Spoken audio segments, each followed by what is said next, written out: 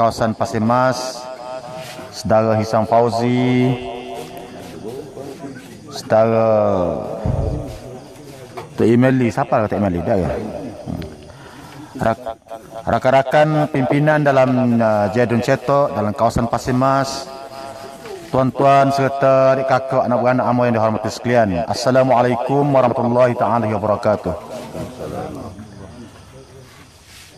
Pertama sekali uh, saya melahirkan rasa syukur saya kepada Allah SWT kerana pada malam ini kita dapat bersama-sama dalam majlis ceramah sempena penyerahan borang lima cawangan ya ke dalam uh, parti amanah. Empat. Empat cawangan ke dalam parti amanah negara pada malam ini. Saya juga merakamkan ucapan terima kasih kepada penganjur yang menjemput saya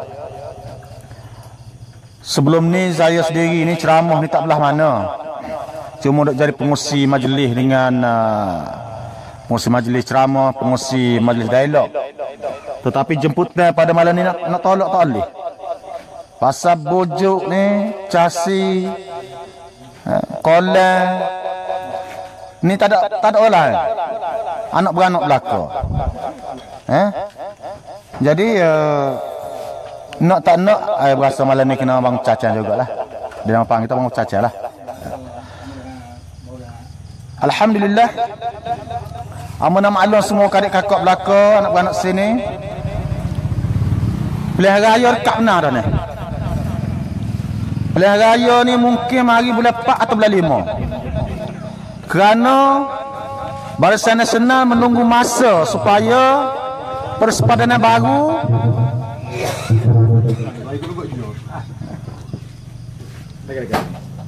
menunggu persepadanan baru untuk digazetkan dalam parlimen yang akan berlangsung bulan Mac nanti. Suruhanjaya Pilihan Raya juga telah pemula menyewa booking kapal terbang kapal terbang di persendirian di Sabah. Kerana menjangkakan Pilihan Raya akan berlaku bulan 4 bulan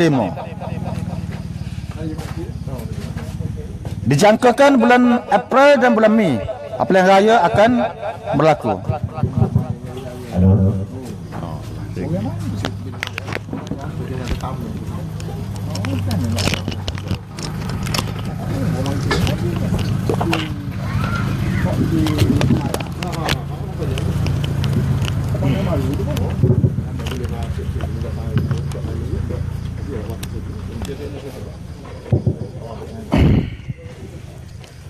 Jadi uh,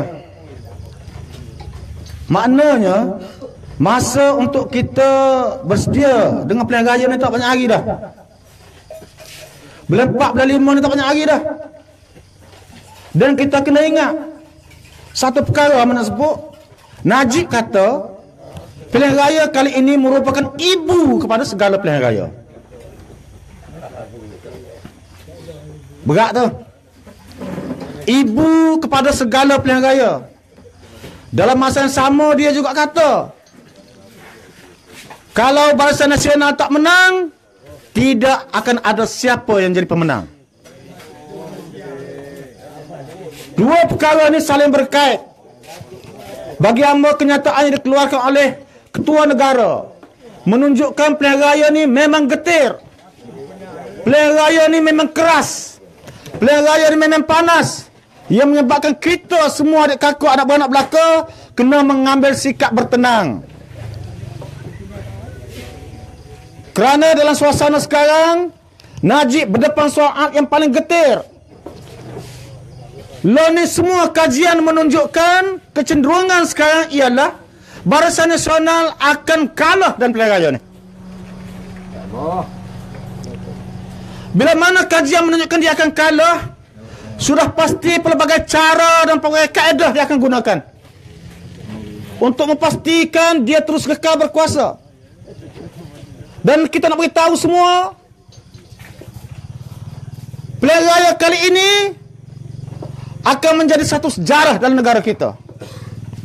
Di mana kerajaan yang dikatakan kuat selama ini, kerajaan UMNO Barisan Nasional akan mengalami kekalahan dia akan serupa nasib dengan parti Golkar di Indonesia. Sampai masa dah. Kajian di Perak, di Penang, di Johor, di Melaka, serupa belakang dah. Semua sekali menunjukkan bahasa nasional tak benar dah. Fenomena ini siapa ke Sabah? Sabah parti warisan sekarang sudah menggegarkan bunda Sabah. Ejek rakyat sokong kepada uh, sokong Pakatan uh, Pakatan Harapan dan parti warisan. Tonton sekalian. Dalam saat begini kita bimbang kerana ini merupakan cabaran yang paling getir bagi Najib. Dan bila dia sebut dua kali tadi kita rakyat kena bersikap bijak. Amba juga dalam pertemuan dengan pihak polis mengelepah Amba nyatakan denuk denyut nadi kita merasakan sampai masa dah UMNO Barisan Nasional kalah Pakatan Harapan akan ambil alih kepimpinan negara. Amba kata tuan, amba minta sebagai rakyat, amba minta dalam pilihan raya yang akan datang ini, pastikan peralihan kuasa berjalan dengan lancar. Pengalaman kita sudah membuktikan boleh berjalan dengan lancar di Penang. Dulu, gerakan Barisan Nasional dan gerakan Perintah Penang dapat ke DAP berjalan dengan lancar. Di Selangor demikian juga. Maka kalau berlaku di seluruh Malaysia dan juga kekalahan kepada UMNO Barisan Nasional, kita minta supaya pihak polis, pihak keselamatan memastikan peralihan kuasa juga berjalan dengan lancar. Learning Pakatan Harapan Pilihan raya ni akan berdepan cabaran tiga penjuru. Ya, pilihan tiga penjuru. Kalau dahulu, Pah, Bangsa Nasional. Pah, Bangsa Nasional di Kelantan. Tetapi kali ini tiga penjuru. Dan kita bagi pihak Pakatan Harapan sudah memutuskan Tun Mahathir sebagai calon Perdana Menteri. Ini kita kena ingat. Tun Mahathir ni bekas Perdana Menteri dah.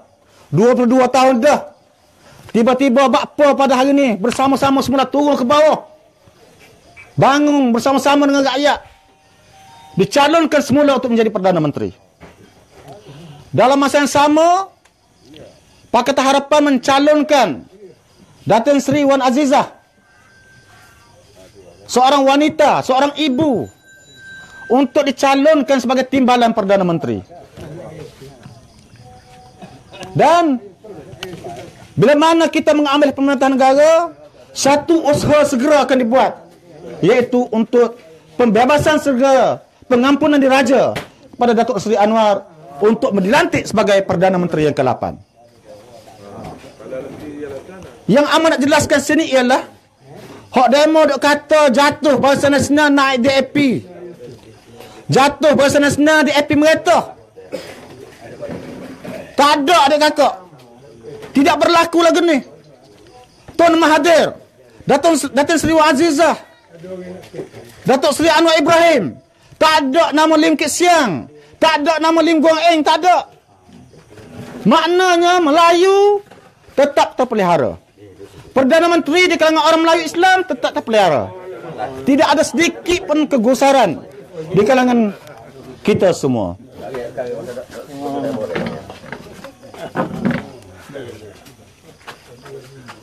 Jadi kakak sekalian, ada orang kata, lagu mana calon pakai harapan ni? Pesen lagu mana?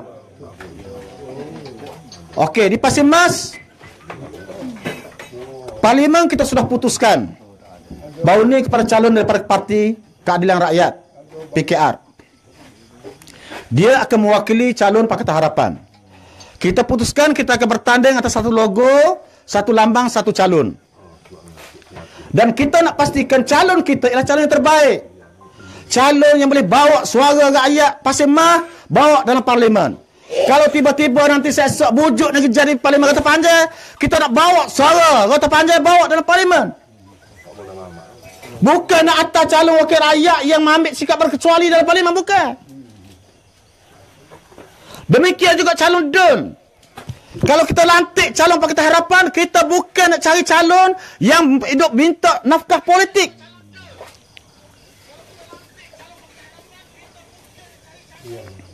Kita bukan juga calon yang kita lantik. Bukan nak minta kawasan balak. Tidak. Bukan nak minta lombong. Hari ni calon yang diwar-warkan akan petani cetok ni. Boleh luluh kawasan lombong. Kita rakyat kapur ni. Majoriti. Kau ni ni. Nora kita belakang. Eh. Amo ada. Orang tino amo duduk beret depan tu. Amo ada. Baru ni harga pok ni turun gos ria 55 sen. Hari ni naik sikit, 2 ria 30 sen. Banyaklah sikit naik. Eh? Katalah sehari boleh 30 kilo sehari. Dengan seria 55 sen ni. Boleh berapa? 49 ria berapa? 49 ria lebih, 50 sen. Kena bagi dua pula orang jenar ke? Betul tak? Bagi dua dengan jenah ke? Ikan kemur pun lah ni. Eh, hok baru ni 12 riyal lah ni. Tak tahu apa ya. 17 dah. 17 riyal sekali lu.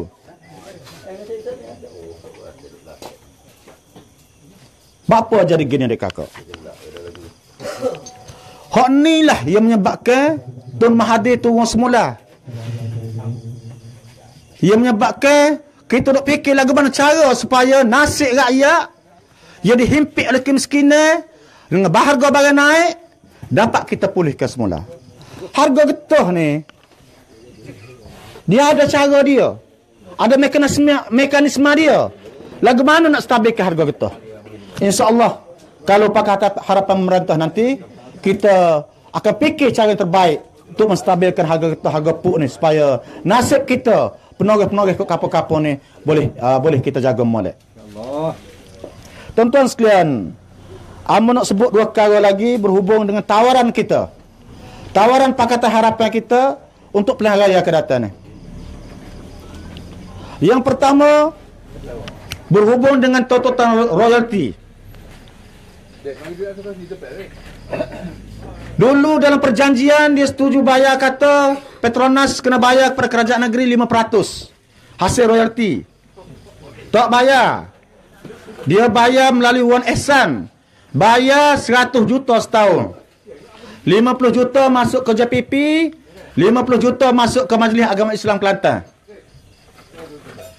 Kalau tak ada hak atas royalty, apa membayar Wan Ehsan?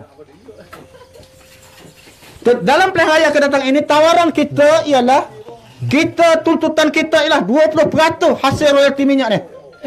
Untuk beri pada rakyat Kelantan. Jadi dengan 20% berbanding dengan 5% ni adik kakak banyak doa. Banyak kita boleh gunakan untuk kebajikan rakyat. Yang kedua Kerajaan Pakatan Harapan akan memastikan pendidikan percuma Hak mana terbeban dengan PTPTN tu, kita akan selesaikan. Ada cara dia. Lebih-lebih lagi di Kelantan ni bila dapat duit royalty, yang mana anak-anak kita keluar universiti terlekat dengan hotel, kita akan ada cara penyelesaiannya. Dan yang ketiganya, yang amat nak sebut ialah berhubung dengan penghapusan GST. Loan ni yang jadi kepenak kita ni. Kes GST lah. Kerajaan kata kata kena naik peratus. Sebenarnya kita ni bukan naik peratus GST ni. Kalau tidak buat apa Siapa kita duk making loan ni? Nak beli barang tu dengan 50 rial ni Gapa barang kita boleh beli loan ni? Dengan 100 rial Gapa, biar, gapa dia barang kita boleh beli loan ni? Tak nampak barang loan ni. Jadi insyaAllah Bila Pakatan Harapan mengata Kita akan uh, tawaran kita saat ini kita akan laksanakan dan insya-Allah uh, Malaysia dan rakyat semuanya akan dapat menjadi rakyat yang baik, rakyat yang tidak dibeban dengan kos hidup yang tinggi dan uh, harga barang yang tinggi. Sekian wassalamualaikum warahmatullahi taala wabarakatuh. Waalaikumsalam warahmatullahi wabarakatuh. Uh, demikianlah tadi ucapan daripada Setiausaha Patik Amanah Negara negeri Kelantan.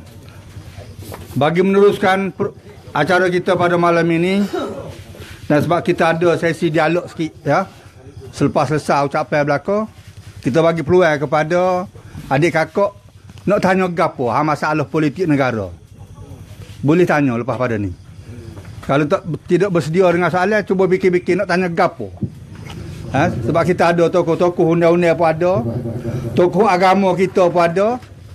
Ya. Jadi boleh tuan-tuan tanya. Selepas ha, sesi pen, penyerahan borang dan juga ucapan terakhir yang akan disampaikan oleh uh, Haji Wan Abdul Rahim.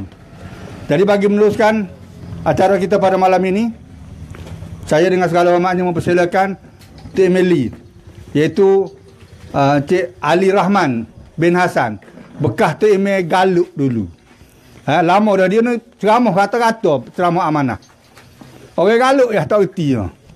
Okey. Dipersilakan.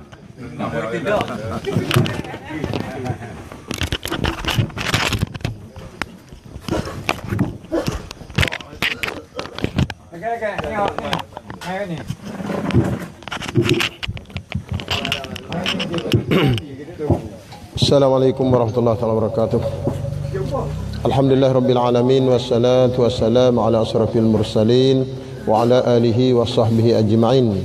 Subhanaka la ilma lana illa ma 'allamtana innaka antal alimul hakim. La hawla wa la quwwata illa billahil azim. La hawla wa la quwwata illa billahil aliyil azim. Yang menghormati pengurusi majlis, cikgu kita, cikgu Rahim, Rosdan, seterusnya hadirin dan hadirat yang dirahmati Allah sekalian. Tak bunyi ni. Alhamdulillah syukur kita kepada Allah Subhanahu wa taala kerana pada malam ini kita telah pun dipertemukan Allah Subhanahu wa taala dalam satu majlis. Jadi majlis ceramah ni adalah satu majlis ilmu.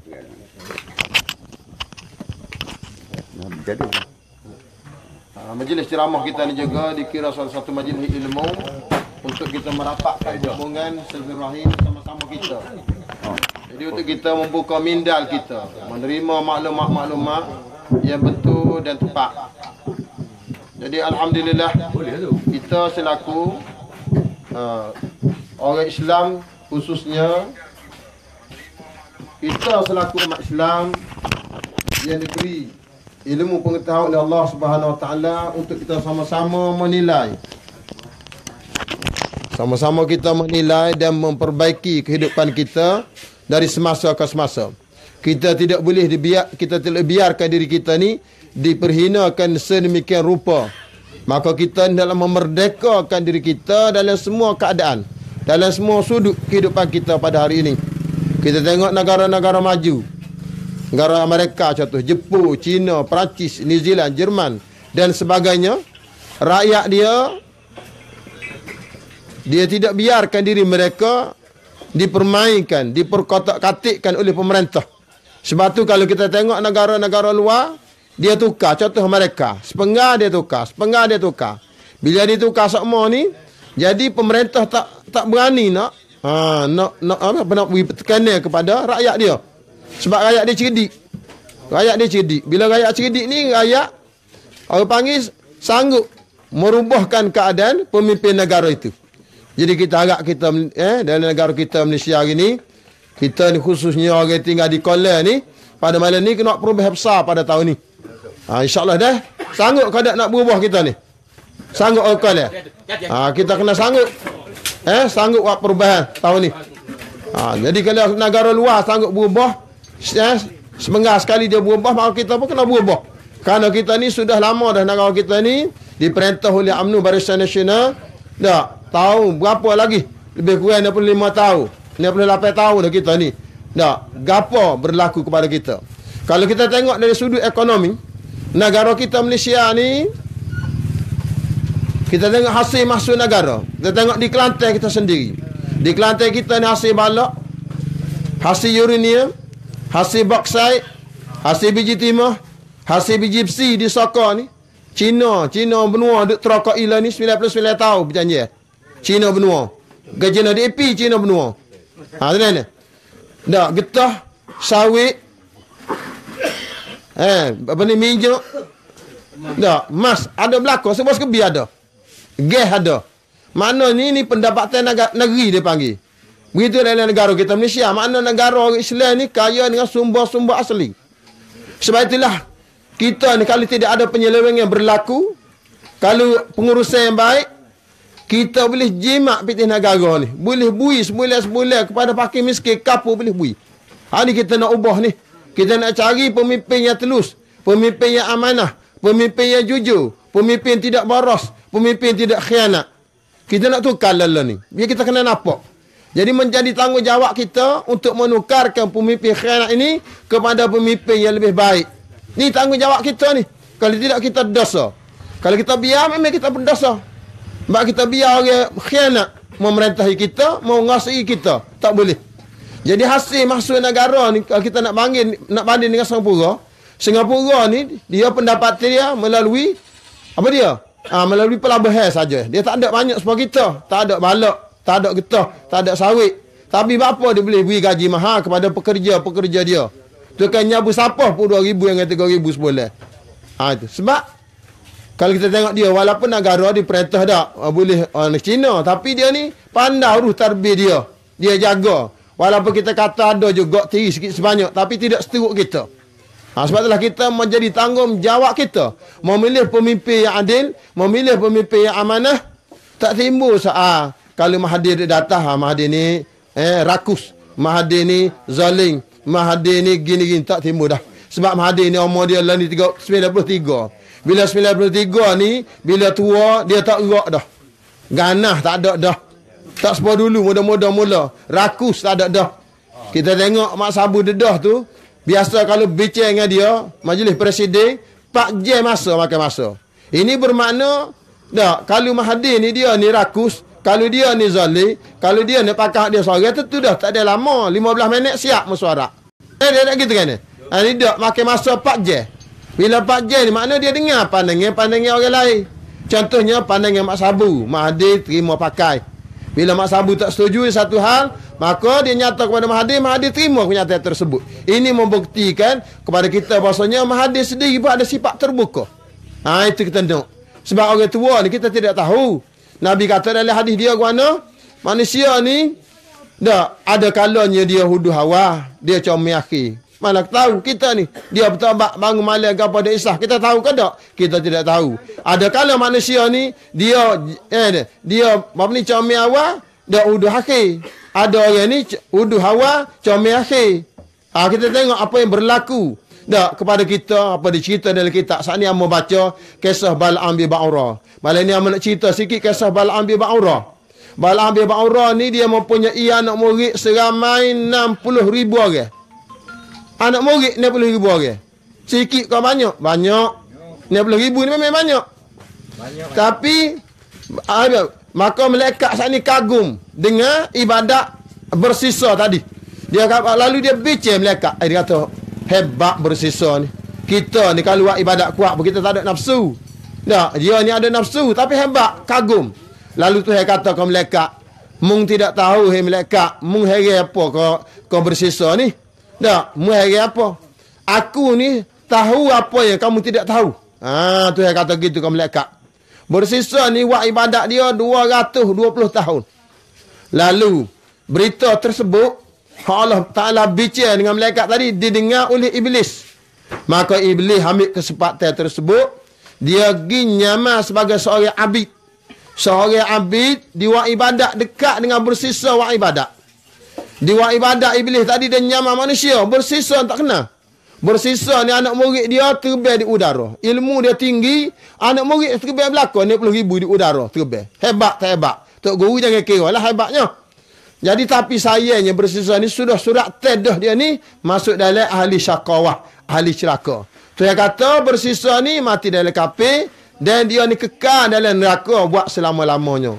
Dia mau tengok kita jauh haratul marhuk muka surat uh, 43. Ha, dia tengok muka surat 43, tengok dalam tu panjang lebar kisah bersisa.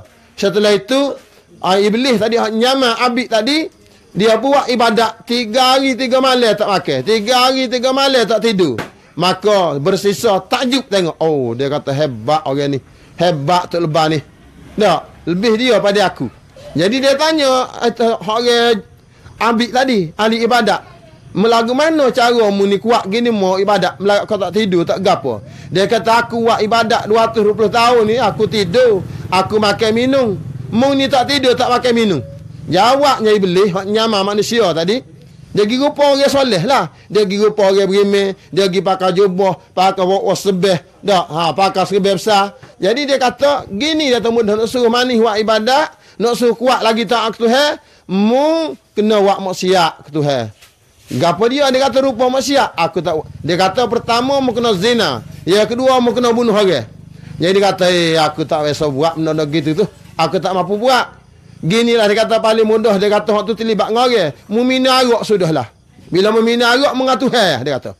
Ah dia apa? Bila begitu pada suatu hari dak datanglah seorang wanita yang cantik jelita bawa arak tangan. Maka bersisa ah, tadi beli arak dengan seorang wanita tadi. Bila dia beli arak, dia minum arak, dia mabuk. Tak biasa minum arak, dia mabuk. Huyah-haya sani. Lepas tu dia pun zina dengan perempuan tadi. Ha, dia kata tak zina apa ni? Dia zina perempuan. Bila zina perempuan tersebut, lalu dia pun bunuh perempuan tersebut. Apa dia bunuh? Kerana takut pecah rahsia dia zina tadi. Akhir sekali, Iblis hak nyama manusia sekali lagi, dia rigak bersisa ni, dia wagi kepada pihak berkuasa. Lalu pihak berkuasa menjatuhkan hukuman kepada bersisa tersebut tiga seksing. Pertama kerana minarak 80 kali sebatan. Sama ni najaldah. 80 kali sebatan. Yang kedua dia jatuh hukuman kerana berzina tadi 100 kali sebatan. Yang ketiga dia dijatuh hukuman dia disola eh tamak kayu. Bukan sola dia lepi-lepi orang beli tu. Ada ha, bukan tu tu eh ha layak tu tu. Ah ni solat ni unyai kayu ditambah kayu dia palas situ. Maka sekali lagi iblis ni mari jumpa dia. Iblis kata guana, waktu dia dijatuh hukum meh hak tiga ni, hak kena solat ni iblis kata guana mu jadi gini. Ha iblis tanya. Amo ingat soalan hak guana mu jadi gini ni ada seorang tu wakil kita di Kelantan, dia pergi jumpa Pak Nuh pasal. Dia kata Pak Nuh, guana dia mau jadi gini. Pak Nuh pun jawab, kawai jadi gini kerana dia mau jadi gitu. Ah, jadi bersisa ni jawab guano.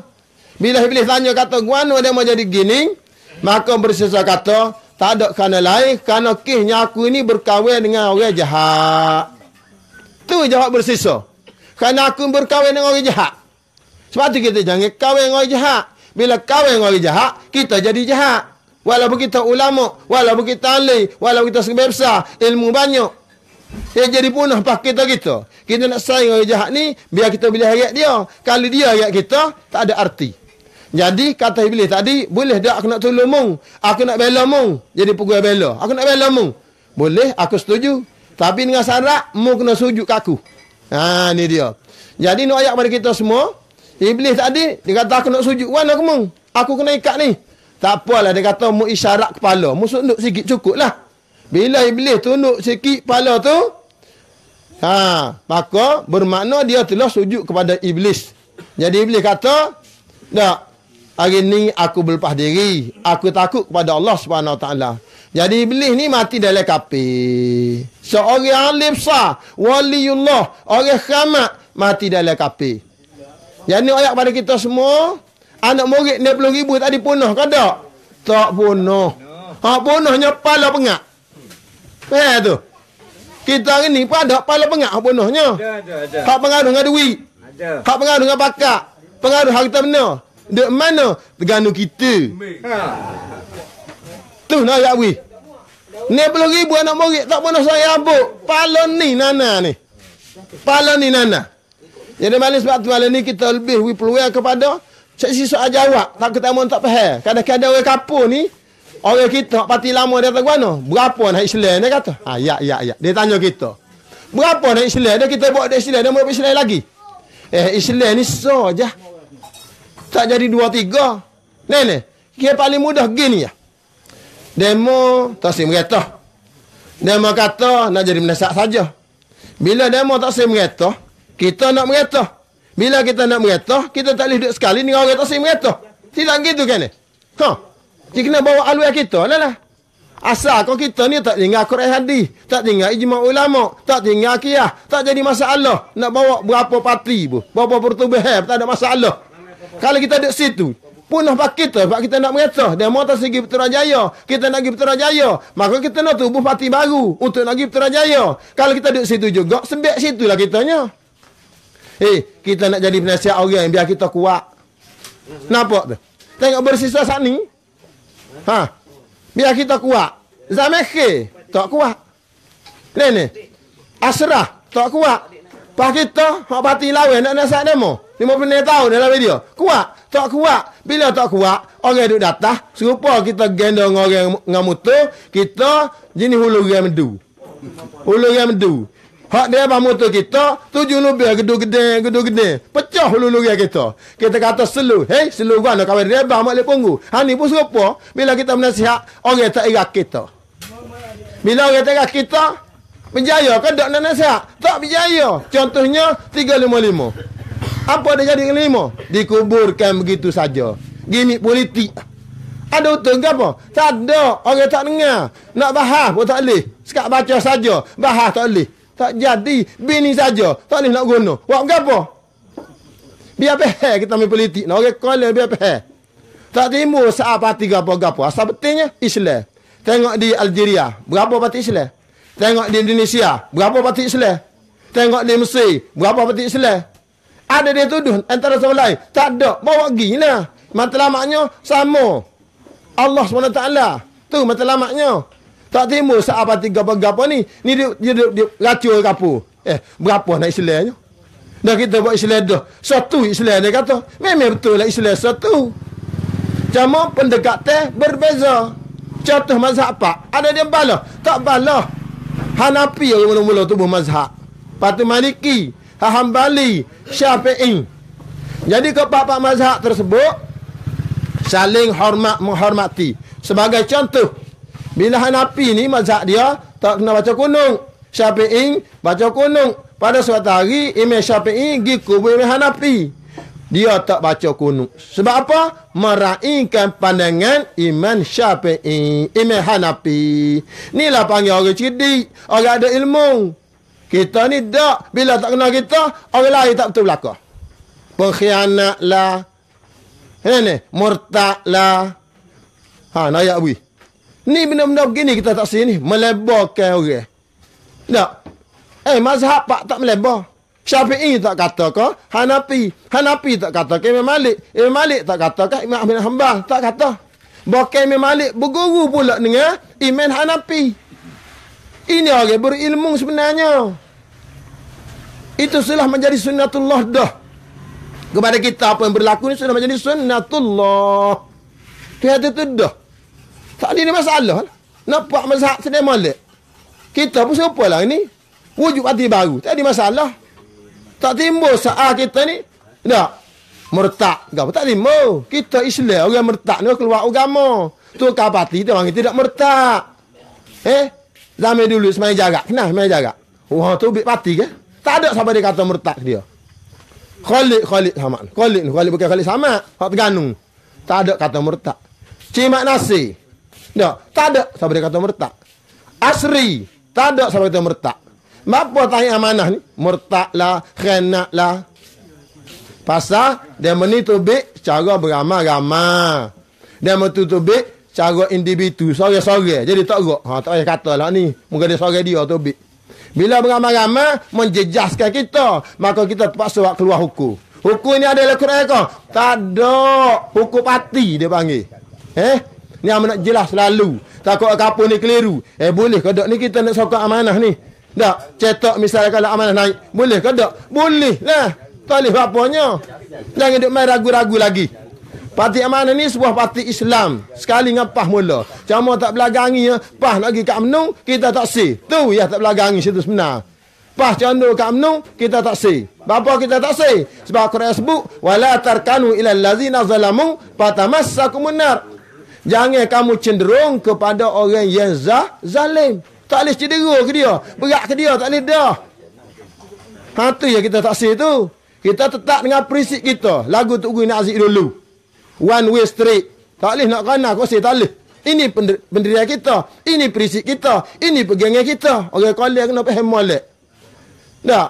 Tahun ni kan naik buat kata harapan. Jangan kira siapa. Tak.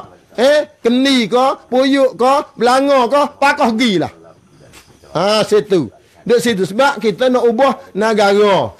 Bila kita ubah negara, segala-galanya akan berubah. Pertama tadilah sudut ekonomi tadi. Sudut, sudut pencairan keuangan dia panggil. Dia akan cair molek. Mak kita ni negara kita apa kata di awal tadi, negara kaya. Sumber asli banyak, pendapatan negara banyak. Bila banyak, kita boleh batu pakai miskin sepuluh Brunei lah. Brunei boleh seribu sebulan. Hak dia saja. Hak dia saya kok bah bah seribu sebulan boleh. Nak, hak dia nyadak seribu sebulan boleh. Peri-peri. Brunei bui. Apa dia beri? Kena ada lebihan duit. Ya ada lebihan duit sebab selangor tiga bah peri. 3 bilion selangor lebihan duit. Tu nak ayat wi. Apa? Kerana perintah betul, urus tarbih betul. Kita ni urus tarbih tidak betul. Rapizi dedah. Masalah penyelewengan. Projek lembu. Ya, Sarizak. Kena belakang Sarizak tak? 250 juta. Nas, eh? Siapa jadi mangsa? Rapizi dijatuh hukuman 30 bulan. Jadi lah ni pelik. Dalam hadis Nabi sebut, Man ra'a minkum munkaran, falyughayyirhu biyadih. Fa illam yastati' fa bilisanih. Fa illam yastati' fa biqalbih. Wa zalika adabul iman. Hadis Nabi kata, Siapa-siapa di antara kamu yang melihat kemungkaran. Penyelewengan harta orang ramai ni panggil masuk dalam bak kemungkaran. Penyelewengan tu bak kemungkaran. Jadi Nabi terpaksa dedah. Jelas dia beli, apa dia? Dia beli hotel mewah di Singapura. Hotel, hotel mewah di Kuala Lumpur. Lembu tak jadi. Lembu ada koloni, lembu tu tak ada. Dengan kandai-kandai dengan lembu-lembu tak kuana ada. Sebab tu satu hari yang melalu kot merapuh. Nak pergi Kuala Lumpur satu hari tu, kau lembu tu dia menunggu pergi jalan. Orang lain mereka rumput belakang, tak tahu lembu Sarizak ke lembu siapa. Dia menunggu sama kata guano lembu ni mikir masalah negara ke. Gak kalau lembu mikir masalah negara, kalau kolek tak saya mikir, eh, amat kata penak kolek ni. Tapi Alhamdulillah kolek hari ni sudah pun kabar, sudah pun sedar. Alhamdulillah. Amu puji orang sini. Kerana sanggup nak berubah. Lembu pun kita menunggu. Hal ini menunjukkan bahasanya lembu nak pada perubahan. Kalau lembu nak pada perubahan, sebab apa? Lembu dulu boleh makan dedak. Sekarang ini lembu tak mampu makan dedak. Sebab apa tak mampu makan? Bukan sakit gigi. Tuwe tak mampu beli. Kerana dedak ada GST.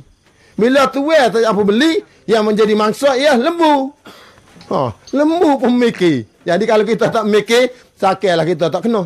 Jadi amat harap kita semua, kalau ngundi berlaku bila ada masa, tak, kita tengok atas, ada, pelapu apa kata harapan, pakat keluar pagi-pagi, pakat berebut, baru nak pakai ni belakang. InsyaAllah bila pitih berlaku lebih negara ni, ia tak pergi ke lain. Ya akan ngalir kot kita juga. Sebab kita nak orang yang terbih negeri ke negara ni, nak orang amanah sungguh. Bawa orang panah dengan Allah SWT. Bukan kata nak kupu kekayaan. Bukan nak tambah kereta willpower ke, rich rubber ke tak. Kita mesti utama ke rakyat dulu. Kita pakai kereta hak seadanya. Asal kereta kita tu boleh gelek pakai hak tu lah dulu. Hak ni kita kena jaga kepentingan rakyat. Sebab saya tanya saya, kullukum ra'in. Wa kullukum mas'ulun an ra'iyatih. Setiap kamu adalah pemimpin. Setiap pemimpin ini akan ditanya oleh Allah SWT di akhirat nanti. Tuhan akan tanya. Rakyat nak makan susah. Rumah tinggi. Hujan-hujan penuh besin dapur. Mu duk kumpul kekayaan. Mu tambah 9 buah cukup 10 buah. Mu cari kemewahan. Jaga gak Tuhan tak kenal siapa. Tak kenal parti mana-mana. Tak kenal sekebel besar. Tak kenal ustaz. Tak kenal siapa. Bila mu tak betul. Tak kenal kanak Tuhan. Mu kena tanya Tuhan seksa. Kena faham molek. Kullukum ra'in. Setiap kamu adalah pemimpin, pengawas, penjaga. Dan kamu, setiap kamu akan ditanya terhadap orang yang di bawah kepimpinan kamu. Jangan main-main. Jangan kita nampak, ah bila aku boleh pergi jauh hari ini peluang aku nak gamu balok. Bukan. Balok sipir banyak lagi lah perala kapu tak tua mun. Dalam peralaan. Balok sipir ada lagi. Tak, tak sini lah. Rakyat ni, hari ni bila orang amanah malik terbit, hari ni insyaAllah. Tak, akan cari molek. Harta lagi nak cari molek pergi rakyat. Dia meminta ni, pemimpin negeri kita ni kena turun premium minyak. Kapur tak tua di perala ni, tak ada lagi gerai tanah. Zami asri mula lagi. Buka tahun 61 tak ada lagi kereta tanah. Kita harap KJL eh, baru ni aa, dia kena buat perubahan segera di Perala kita ni insya-Allah bila kita wi sesuatu yang baik ke Perala ke Perala akan berubah. Akan berubah. Ni gerai pun tak ada. Buka sampai KJL pas dulu lagi. Sebab kali ni pun tak boleh gerai. Amak gelik tanya tu tua lah ke mana? Tak boleh tak ada harga pun. Nak bayar ke mana? Nak bergerak gua mana? Moga seka 3000. Ya yes, seluk neka. Nek kali 3 18000. Nak bayar gua mana? Apa getah doya pak? Primer tanah 18000. Celak orang tua, mati dah orang tua, tak boleh bayar. Zaman Tok Guru mula berapa harganya? InsyaAllah, ha, tu je ratu. Kita harap pemimpin baru kita ni Kelantan ni kena turun premier tanah ni. InsyaAllah, biar kapur ni hidup selesa, jangan selesa kita sore. Ya biar ni benda ni biar berjaya, biar benda ni kita ni jangan kecek saja. Kecek saja tu yang marah. Kabura maktan indallahi antakulu malatafalu. Tuhan sangat-sangat marah kalau orang berkata begia begia begia tetapi perbuatan dia lain daripada apa yang kata Tuhan marah. Kena ingat situlah. Sebab kita ni tak lari, tak lari daripada kita akan bertemu dengan Allah Subhanahu Wa Taala di akhirat nanti. Itu yang paling besar sekali. Sebab itulah kita kena ubah hak tak baik kepada yang lebih baik. Dah, hak tak comel, hak comel dah, nak comel lagi. Ini sebab Nabi kata antum a'lamu bi umuri dunyakum. Kamu lebih mengetahui dengan urusan duniamu waktu tu. Ada pernah satu ketika sahabat Nabi ni dia duk ngawih khemar. Khemar sebenarnya asal dia pahit. Maka buat ni kahwin, buat pendekatan baru, manis buah. Bila gitu Nabi tak tanya, ah, alangkah baik kalian semua tidak melakukan demikian. Nabi kata maksudlah, eh, sahabat berhenti ngawin. Nah, dia kata Nabi teguh, Nabi lari. Bila begitu, sengai lama, Nabi makan buah kemua pahit. Nabi kata, gua mana pahit buah kemua ni? Bukan baru ni Rasulullah lari. Eh, Rasulullah kata aku tak lari. Nabi buat jadi, antum a'lamu antum a'lamu bi umuri dunyakum. Mu lebih mengetahui dengan urusan duniamu waktu tu. Apa makna? Lapah hadis ni umum. Bukan bak kahwin saja. Tak. Masuklah bak kita nak maju negara. Tak. Nak maju cara eh, pengeluaran buah-buah hair. Tak. Nak maju go to go ni. Sumber ekonomi dan sebagainya. Maka mu lebih mengetahui. Bila lebih mengetahui ni kena wisap dia? We orang cerdik terbih negara. Jangan we orang tak cerdik. Yang tipu orang. Ha, nak cerdik ni lah. Dia tak kira orang ni profesional ke. Orang ahli akademik ke. Orang agama. Oh, agama tak boleh hidup bagi agama. Hak ni orang arif dari segi pentadbir dia. Wih dia. Walaupun personal. Dia orang cerdik. Biar dia urus tadbir negara ni secara baik. Hak tu Islam kita naknya. Ha ni wih orang hak tak reti. Kau duk kutip duk pun habis. Tengok perjanjian. Tetap apa ni West Eastern. West Eastern majlis 50%. Tak. JPP 50%. Negeri yang mendengar tak ada siabuk. Tak janji ke mana lagu ni. Ni tipu demo. Bila kita janji ni biar cerdik. Kita pun masuk sikit. Orang tu sikit. Baru ialah. Ni JPP ni kaji ha, Barisan Nasional. JPP ni bawah Barisan Nasional. Mana UMNO ke UMNO. Situ nampak tak cerdik dah. Bukan tak cerdik. Bukan bodoh. Kurang sikit. Ha, kalau kata tak cerdik dah sikit kan. Nampak kasar sangat. Panggil kurang sikit. Ha, tu. Bebel dia panggil. Ha, ni sebab itulah kita ni. Kena biar orang ni arif. Arif dari segi pengurusan. Pentadbiran. Negeri baik. Negara baik. Bila molek ni. Kata Nabi. Sinfani minan nas iza salahat salahan nas wa iza pasadat pasadan nas. Ha, Nabi kata. Tak. Nabi kata, bila baik dua gulungan ni akan jadi baik habis seluruh anggota masyarakat. Negara baik, negeri baik, masyarakat baik, dunia baik. Apa dia? Bila baiknya pun tak baik, bila baik pemerintah akan jadi baik habis masyarakat. Hak ni tak curi, hak ni tak merapak, hak ni tak bunuh, hak ni tak zina sebab pemimpin baik. Satu lagi bila baik ulama, ulama amanah dengan ilmu dia, ulama menyapa betul-betul agama, maka dia sendiri, maka dalam negara itu tidak ada lagi orang jahat. Yang lebih betul orang ni dulu. Kalau dua ni jahat, jahat ulama ni menyembunyi kebenaran. Jahat ulama ni khianati amanah Allah. Jahat orang orang pentarbih ni dia tidak teluh dia pengurusan harta negara. Dia menyelewi harta negara. Dia bila menyelewi ni, dalam kitab akidatun naji kata, sesok dari akhirat sesok bila kita bakit pada masa sesok dia berbagai-bagai benih ya jenis bentuk manusia berbagai-bagai bentuk manusia dibakit pada masa sesok. Ada bakit rupa kera ada bakit rupa babi.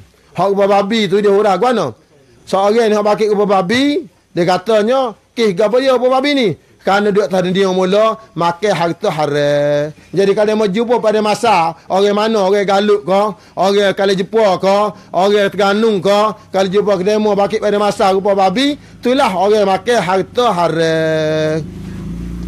Rupa babi. Kita mana raya? Kita akidatun naji. Nada kita tahu. Usul dia. Kalau nada, rojuklah kita tu ada. Bukan main-main. Bukan sakaban istri lain. Bukan nak sakaban Cina. Dalam kita akidatun naji. Ada dedah. Mana kita lah ni walaupun dah tania ni comel, molek setengah mana, kalau kita terlibat dengan harta haram, maka kalau tak tobat, mati sesok, bakit dalam keadaan rupa babi. Jadi kalau repizi dia dah, benda muka dia buat, repizi dia jatuh hukum pang jadi balik lah ni, balik lah. Jadi kita nak nak nak mengata tak sui balik gini lah. Hak salah, jatuhlah hukum Hak tak salah, bebas lah. Tapi ulama kena amanah dengan ilmu.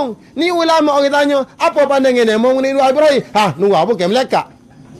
Ni bukan ulama lagi ni. Eh, ulama lagi ni. Dia panggil ulah dalam semua. Kalau ulama dia berterus terang. Oh, Nuh Ibrahim mestilah kena ada empat orang saksi. Jika tidak berbukti empat orang saksi, tidak ada bukti-bukti lain, maka hukumnya hendaklah dibebaskan. Ha, jawab ya betul. Orang tak keliru. Ni dok jawab melekat. Budak bertahun, wah tidak melekat. Ini maknanya dia menyembunyi fakta sebenar. Orang lagu ni lah kita tak boleh tak duit datah. Jadi punuh orang ramai.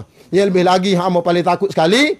Hak Nabi kata akhir zaman ketika mana sahabat duk bicara sama-sama sahabat. Nabi kata, nak muat gapo ramai-ramai duk bicara ni? Ya Rasulullah, kami semua duk bicara masalah dajjal. Masalah dajjal, fitnah dajjal, bahaya pengaruh dajjal. Nabi kata, "Guana, Dajjal aku tak takut lagi. Hak aku takut kepada kamu sekalian. Nabi kata, "Ana min ghairi dajjal, akhwafu alaikum min ad-dajjal." Faqila, "Wa ma huwa ya Rasulullah?" Nabi kata, yang terlebih aku takut kata kamu sekalian, daripada aku takut kedajal lagi ada. Wakilah kata orang, siapa dia Rasulullah? Nabi jawab dua kalimah, al-ulama usuk. Nabi kata ulama jahat.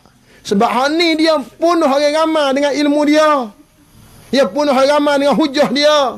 Dia punuh orang ramai dengan fakta-fakta dia. Tapi fakta dia, tewe. Sebab Nabi kata, aku lebih takut daripada takut dajal lagi. Dajal tak percaya. Dajal dia mari Eh, dia mari begar. Dia mari mekbak. Mi celuk. Cendor. Yang dia tak ada dalam ngana dia. Dia tak baca ayat je.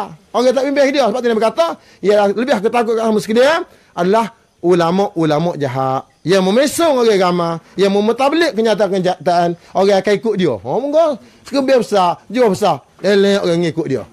Ha ni panggil walak bagi buatan ni. Sebab itulah kita pertama sekali kena jadi di kita orang berilmu. Berilmu, kita akan nilai benda tu. Betul ke salah? Kita nilai apa? Nilai ilmu, nilai mata hati celek. Jangan nilai dengan orang panggil membabi buta. Nilai dengan ekstrim kita. Nilai dengan fanatik kita tak boleh. Sebab itulah kita hari ini kena ada sifat keterbukaan. Itulah saja sebagai mukadimah hamba pada malam ini takut-takut ada soal jawab ni lah. Jadi banyak lagi anak kecil ni, maaflah kalau kasar bahasa, tak sedia dengar, tak puas hati, minta maaf banyak-banyak. Mana tahu klik salah mati ni ni. Mati tak ada kira tua muda mati belakang. Kadang-kadang dia mau dulu mati, kadang-kadang mau dia. Kadang-kadang mau dia, kadang-kadang dia mau dulu. Ha, dia gila gitu lah. Timbang bila aku lihat astagfirullahalazim. Assalamualaikum warahmatullahi wabarakatuh. Allah Akbar. Waalaikumsalam warahmatullahi wabarakatuh. Hai, sedap tu Emily ni. Eh, balik jemaah ni. Kita tu aja dengar. Padahal tu menguri ya, pak pak ngajar. Tapi dia baca cerita ni dia campur belako. Hak ekonomi pun setuh, hak politik pun setuh, hak agama sama teluh lah. Ha, tapi saya tidak nak ulah panjang pasal kita ada masa lagi satu jam. Masa satu jam. Jadi roti ni banyak lagi ni. Selonjok lagi tu. Hok mana tak makan roti boleh mari ambil. Hok makan dah pun boleh ambil lagi. Eh? Tuai roti tu dia duk mesti takut roti tak habis. Eh, roti sedap ya? Roti sedap. Oh, roti sedap. Oh, mana tak makan lagi boleh mari ambil. Tak apa. Bila-bila ceramah pun tak apa. Mari ambil lah. Air ada tiga kendi lagi tu. Ha, untuk meneruskan acara kita pada malam ini, saya tidak melengah masa. Saya dengan segala hormatnya mempersilakan uh, Encik Hisham uh, bin Fauzi untuk menyampaikan ucapan beliau. Dengan segala hormatnya di, dijemput. Ada saya apa? أعوذ بالله السميع العليم من الشيطان الرجيم بسم الله الرحمن الرحيم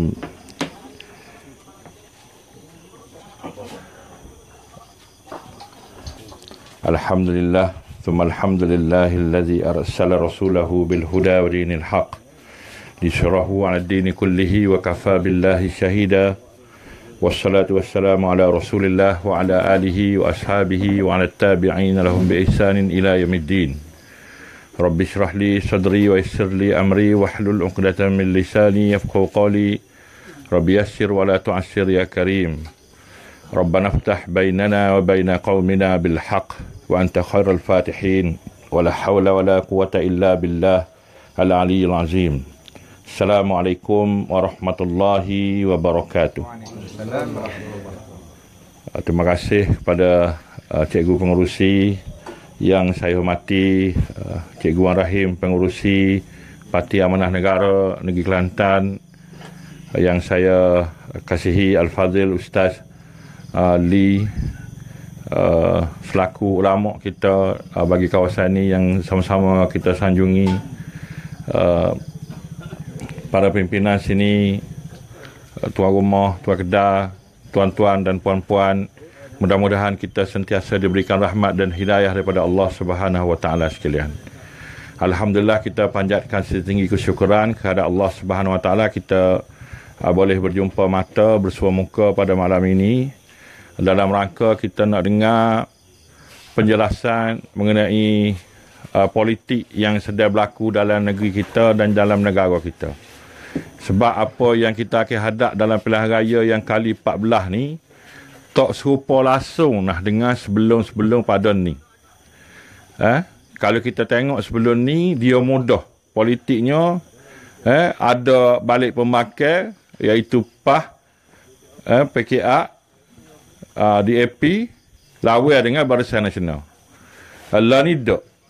Allah ni dia jadi tiga puak. Eh? Uh, puak Barisan, puak PAH dan juga puak Pakatan Harapan. Hak mari malam ni ni kapu kolam malam ni ni tidak amanah ikhtiar ni.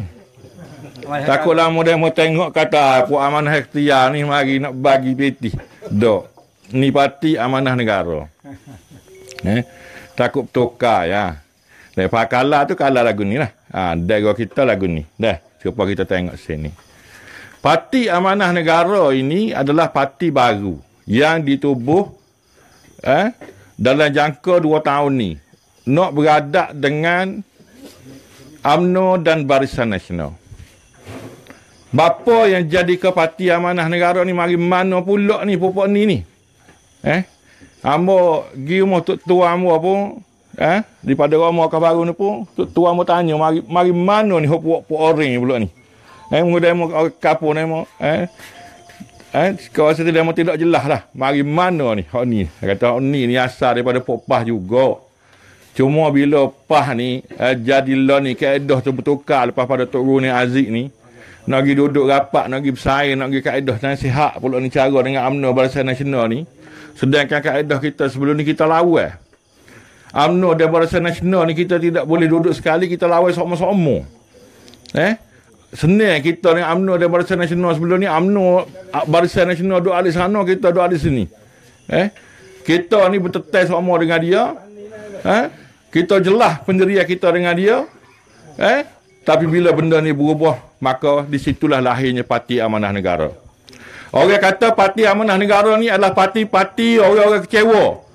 Orang-orang yang kalah dalam pemilihan PAS. Ambo nak royak kepada orang kampung sini pada hari ni. Sebenarnya yang tubuh Parti Amanah Negara ni ialah bukan sebab kerana kecewa. Tapi sebab kerana tidak puas hati dengan cara membawa ke parti PAS yang telah berubah daripada sebelum daripada ini. Eh, sebagaimana yang Amos sebut tadi, sebelum ini kita berdiri berdepan dengan UMNO dan Barisan Nasional, kita menentang kemungkaran secara berdepan. Tapi pada hari ini mereka cukup berlunak eh, sekali dengan UMNO dan Barisan Nasional sehingga boleh demo duduk sepetah, duduk sekali, duduk bersaing molek, tak ada masalah apa. Eh, jadi kita pun benda ni dia berpunca daripada sebelum muktamar tahun 2015. Pada muktamar itu segolongan ustaz-ustaz muda ni telah buat demonstrasi menuduh pimpinan PAS pusat pada masa itu telah pun dipengaruhi oleh parti DAP. Ada ustaz-ustaz ni dok ayat kata pimpinan PAS ni sudah ada yang dibeli oleh orang boleh DAP. Dipengaruhi oleh DAP. Eh? Buat tunjuk perasaan di bangunan pejabat agung di Raja Jalan Raja Laut Kuala Lumpur tu. Buat tunjuk perasaan. Buat memorandum serah kepada memorandum kepada Presiden PAS. Lalu pada masa itu Presiden PAS telah pun menubuh eh mengarah ke Setiausaha Agung Cik Gempar masa tu Datuk Mustafa Ali untuk tengok benda ni Cikgu PAS telah tubuh satu jatuh kuasa siasat dan disiplin untuk siasat perkara ni. Eh? Cikgu PAS Datuk Mustafa Ali telah buat benda ni dan telah latih. Eh? Telah latih. Eh? Dr. Da'i Sanusi, Da'i Marius, bekas ahli parlimen sini. Sebagai pengurusi jatuh kuasa disiplin untuk tengok benda ni.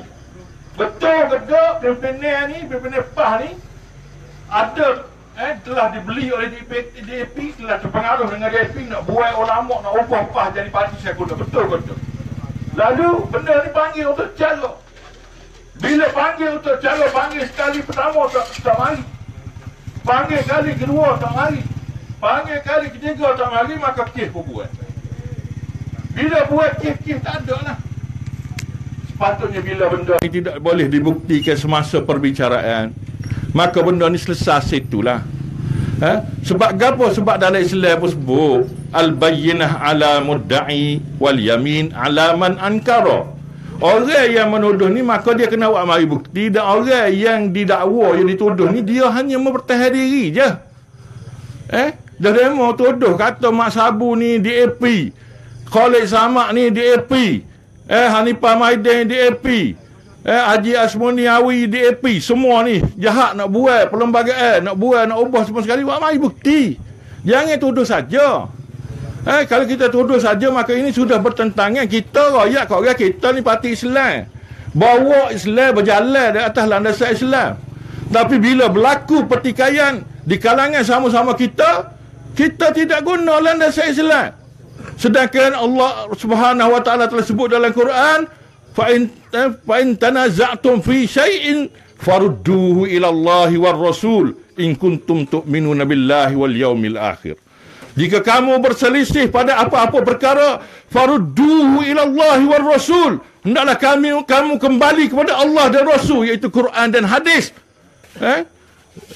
Supaya kita boleh selesai benda ni mengikut panduan Al-Quran dan hadis dan ulama-ulama sebelum ni letak-letak landasan tuduh boleh al-bayyinah ala mudda'i. Bukti kena buat mari. Tak ada bukti. Tak ada bukti. Benda ini telah mengelirukan masyarakat. Telah mengelirukan ahli. Telah dibawa sampai ke muktamar. Difitnah pula lepas pada itu. Amor duduk dalam lajnah undang-undang eh, PAH Pusat pada masa itu sebagai timbalan pengurusi lajnah undang-undang PAH Pusat pada masa itu. Lajnah undang-undang PAH Pusat dituduh oleh Presiden PAS sendiri dalam satu program yang melibatkan PAS Macang mengatakan bahawa lawyer-lawyer dalam lepas ni dia buat kerja nak pindah perlembagaan PAS nak buai kuasa ulama nak buai kuasa majlis syura nak alih parti ni daripada parti Islam nak jadi pro kepada sekular tuduh semua benda ni dalam keadaan tidak bukti. Sedangkan kami pada masa itu buat jatan kuasa untuk pindah perlembagaan PAS masa tu atas arahan jawatan kuasa PAS pusat kami buat masa tu untuk semok sebab pada masa tu parti PAS telah pun membesar. Dulu parti PAS kita kecil, kita ada dua yang naik presiden. Kita tambah jadi tiga. Kemudian duk bicara masa tu nak tambah jadi lima naik presiden. Sebab kita parti besar pada masa tu. Keahlian sudah lebih satu juta. Maka nak buat lagi pindaan-pindaan yang berbagai. Bila nak buat pindaan yang berbagai ini, maka jatan kuasa yang ditubuhkan di bawah Lajnah Undang-Undang dan Hak Asasi Manusia PAS pusat ini bersidang kita buat. Dan bila kita siap benda ni, maka dia kena akak kepada kuasa PAS pusat. Kalau kuasa PAS pusat setuju, maka dia akan bawa kepada majlis syura. Bila majlis syura telah lulu, baru bawa kepada muktamar. Lulu dalam muktamar, hatta kepada pendaftar pertubuhan. Bila pergi ke pendaftar, pendaftar pertubuhan, baru berubah perlembagaan parti PAS. Yang dok tuduh Puan Ambo. Lawyer yang suku sembilan dia buat kerja berarti dah lepas mula dok tuduh Puan Ambo nak buat kerja sekular. Nak buai ulama daripada PAS. Nak buai Islam daripada PAS. Sebab apa? Semua ini adalah fitnah yang tidak ada sebarang bukti. Semua ini adalah tuduhan-tuduhan jahat kepada kami yang bekerja seikhlas hati kami pada masa itu untuk kebaikan dan kemenangan Islam. Maka setelah semua ini berlaku, fitnah, fitnah, fitnah dilontar, eh, dilemparkan kepada kami semua. Mari pula pemilihan tahun 2015. Kalah 18 pemimpin-pemimpin utama PAS Pusat kerana fitnah yang dilemparkan yang tidak pernah dibuktikan pada mana-mana peringkat. Maka boleh lagikah kita nak nak duduk dalam dalam mangkuk ini, nak duduk dalam wadah ini, nak duduk dalam bekah lagu ni, nak, nak duduk dalam bah lagu ni, nak... boleh lagi kau. Kita naik bah ni mula ni sebab kita yakin kau driver. Kita tengok bah comel, kita yakin kau driver nak pergi kerja tempat yang betul. Bawa pula comel terketik training. Driver orang juru, bah comel. Tapi bila kita tengok hari ni kabar-kabar bah ni beri beriti cakung tengah jalan. Tak pergi, tak berapa nak pergi dah ke Putrajaya. Eh, nak jadi penasihat kok jauh-jauh gitu ya. Lepas kita nak duduk lagi atas bah tu. Tak sampai bila dah lah kita ni. Sedangkan Tok Guru ni Aziz ni dia pesan dah mula. Dia kata amno amno ni serupa kereta buruk. Kereta buruk ni masa dia mampu kita pakat tolak-tolak. Bila kita tolak dia dah dia hidup dia tinggal dah lah kita. Tok Guru ni Aziz pesan dah kau kita mula. Eh? Jadi benda ni lah yang kita lah ni yang kita rasa kenapa perlu tubuh parti amanah negara ada hari ni ni. Eh? Ambo lepas dulu eh dah lepas ni eh, macam-macam Cikgu Rahim lebih lagi jauh lagi pada ambo perjalanan hidup dia. Kita terlibat bersekutu-sembilan nak memperjuangkan nak menghidupkan parti Islam ini. Tapi pada satu ketika kami terpaksa memilih untuk berpisah dengan parti Islam ini. Eh, dan menubuhkan sebuah parti Islam yang baru iaitu Parti Amanah Negara. Eh, orang kata apa tak berubah nama Parti Islam Amanahnya. Dah menggunakan Islam juga. Ah, tak berubah tu sebab pendaftar pertubuhan tak bui. Eh, Zahid Hamidi tak lulu. Nama ni yang lulu. Jadi, tak apa lah. Yang pentingnya kita nak buat benda tu jelas. Ah, lepas tu amanah ni, dia bersaing dengan DAP tak si buat hudu. Baik, hudu amanah ayat cerita pula. Ambo ni tuan-tuan sekalian, salah seorang yang duduk dalam jatan kuasa yang menggubah hudu Kelantan. Ambo duduk dalam jatan kuasa teknikal hudu Kelantan. Dan nama juga yang duduk duduk dalam jatah kuasa yang pergi berunding dengan Datuk Seri Jamil Khir yang pergi berunding dengan Kajian Persekutuan dulu, pergi berunding dengan Kajian Pusat dulu. Ni orang wakil Kajian Persekutuan, amal salah seorang. Eh? Bila kita dalam lajnah undang-undang PAH Pusat mula buat keputusan pada masa itu PAH Pusat kata nak buat laksana nak nak bergerak semula projek hudu. Maka pada masa itu lajnah undang-undang PAH Pusat kita 50 orang lawyer berkumpul bincang balik kita semak balik kanun jenayah syariah 2 tahun 1993 kita go through balik kita kita baca balik kita kaji balik sepatah-sepatah kita kita kaji kita baca balik. Maka kita buat cadangan-cadangan pindah eh penambah baikan. Sebab undang-undang tu tahun 1993 lagi. Pada masa itu tahun 2014 eh maka pada masa itu kita buat semakan bila kita buat semakan maka marilah timbullah buku, eh, satu buku kita buat cadangan untuk pindaan-pindaan dan penambahbaikan kepada undang-undang kanun jenayah syariah 2 1993 Dua belah orang lawyer daripada Lajnah Undang-Undang PAH Pusat pergi jumpa dengan Ketua Hakim Syar'i Negeri Kelantan. Dan juga Datuk Mufti. Betul depan dia ni, dia caranya kami pada masa tu nak suruh pindah sikit, nak suruh beki biar jadi akta tu kau comel. Bila betul betul betul itu, dua belah hari lagi betul tu, Alhamdulillah, akhirnya sehari kita pergi betul tu, pindah-pindah eh, benda-benda kita cadar tu dipersetujui oleh Ketua Hakim Syar'i Negeri Kelantan dan juga Datuk Mufti Negeri Kelantan. Maka benda ni lah lepas tu ditambah baik semua sekali. Jadilah kanun jenayah 2, eh, kanun syariah, kanun jenayah syariah 2, 2000, 1993 2014, 2015. Eh, kok mari daripada situ. Daripada hok ambil royak 12 orang saat ni, lawyer yang pergi jumpa, yang pergi betul benda ni, tujuh sudah masuk parti amanah negara. Tujuh duduk dalam parti amanah negara tu. Dan daripada ni orang yang pergi berunding dengan kajian persekutuan pula. Masalah nak laksana hudud, pergi bicara ke mana nak buat ni. Daripada enam itu tiga sudah masuk parti amanah negara. Jadi kalau kami yang terlibat daripada awal, yang terlibat dari seduk menggubah, yang mengusahakan benda ni supaya boleh jalan, yang cari kaedah supaya benda ni boleh buat. Sudah meninggalkan parti amanah negara dan tiba-tiba orang kata parti amanah negara ni parti yang tolak hudu, yang toksik kepada hudu. Tak kira kami buat benda yang kami tak toksik. Tak kira kami terlibat dalam benda yang kami tak mahu. Tak kira kami nak bina benda yang kami tak tak si tak, tak si pakar. Kita nak benda ni tapi kita ada kaedah lain. Kita ada cara. Kita tidak setuju nya Presiden PAH bawa usul persendirian ke parlimen tu. Sebab usul sebenarnya sepatutnya dibawa oleh menteri. Kita bicara dah dalam mesyuarat masuk masuk jawatan kuasa pusat tu. Tapi pergi masuk kita sendiri dulu lah. Sekali kelekak lah. Dua tahun dah tua-tua sekali eh. RUU 355 ni. Dengan DAP putus dah lah ni. Dengan PKR putus. Pak kata rakyat sudah jadi gemulah, hacur lebur dah. Gapo boleh? Gapo pah boleh daripada RUU 355? Balah dengan DAP, balah dengan PKR, pak kata rakyat hacur. Boleh laksana hudud hari ni? Duk kata sebelum ni duk salahkan kepada DAP, duk salahkan kepada PKR, kata menghalang perasaan hudud. Baiklah ni kita balah dah dengan PKR. Kita tak setuju, kita kerak dah hubungi dengan DAP. Boleh ke tak buat hudud hari ni? Tak boleh. Sebab halangnya masalah sebenarnya bukan duduk di DAP. Masalah sebenarnya bukan duduk di PKR. Masalah sebenarnya duduk di UMNO. Ni puluh satu tahun dah kita ni duduk bawah dan menim merata tuan-tuan sekalian. Kita bagi peluang kepada UMNO dan Barisan Nasional untuk mengetah negara ni ni puluh satu tahun sudah. Tapi sampai ke hari ni, kau sehari, kau penak, kau sehari, kau payah. Undang-undang Islam tak tahu ke mana. Jenayah kau menekat. Kasut tak boleh lepas, tak tangga nyuak lari kau orang. Seluar jemur pun hilang. Baju tu, jam, baju pun kalau jemur hilang. Tak boleh lepas, betul. Tak boleh tak kaci sikit nyuak lari demo. Puk getah pun kena jaga. Kalau tidaknya colek demo. Dulu orang colek orang, lah ni orang colek puk getah. Hmm. Eh? Masuk dalam kepul getah bawa kereta kacil dekat chair lah tu kena kita tengok-tengok lah tu kalau dia orang tak kenal bawa masukkan kereta kacil lah kepul getah. Dia colek getah tu. Getah go dua ya tiga pun orang curi. Daging go go berapa? Tiga puluh. Berapa berapa kilo kita nak menoreh nak boleh kau beli daging sekilo ni. Eh? Penak kita orang kapung ni menoreh. Nak boleh sama sekali makan pun penat hari ni. Sebab tu kita bersungguh sangat lawai UMNO dan Barisan Nasional ni.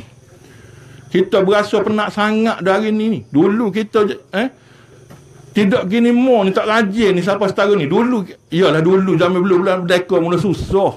Tapi susah zaman dulu boleh makan. Boleh makan.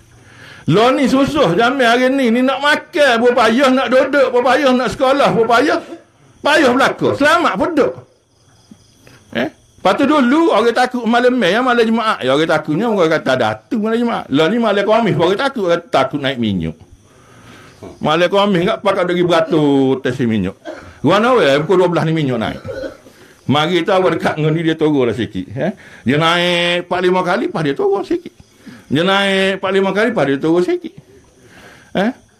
Sebab itulah kami dalam dalam dalam dalam parti amanah negara ni duduk sekali dalam Pakatan Harapan ni tak ada kerja-kerja dia kata nak lawan supaya kita ni boleh sama-sama nak ok senapah ni negara kita ni boleh kata kat serupa dengan lori ni hok punah berik duk gosok ru turun daripada tempat tinggi bawah turun tu dengan laju kalau kita tidak enjar berik tidak tarik hand berik tidak tidak cuba selaya supaya cari kaedah bagaimana supaya kita tidak gosok turun maka jatuh dah gaun lah negara kita lepas pada ni.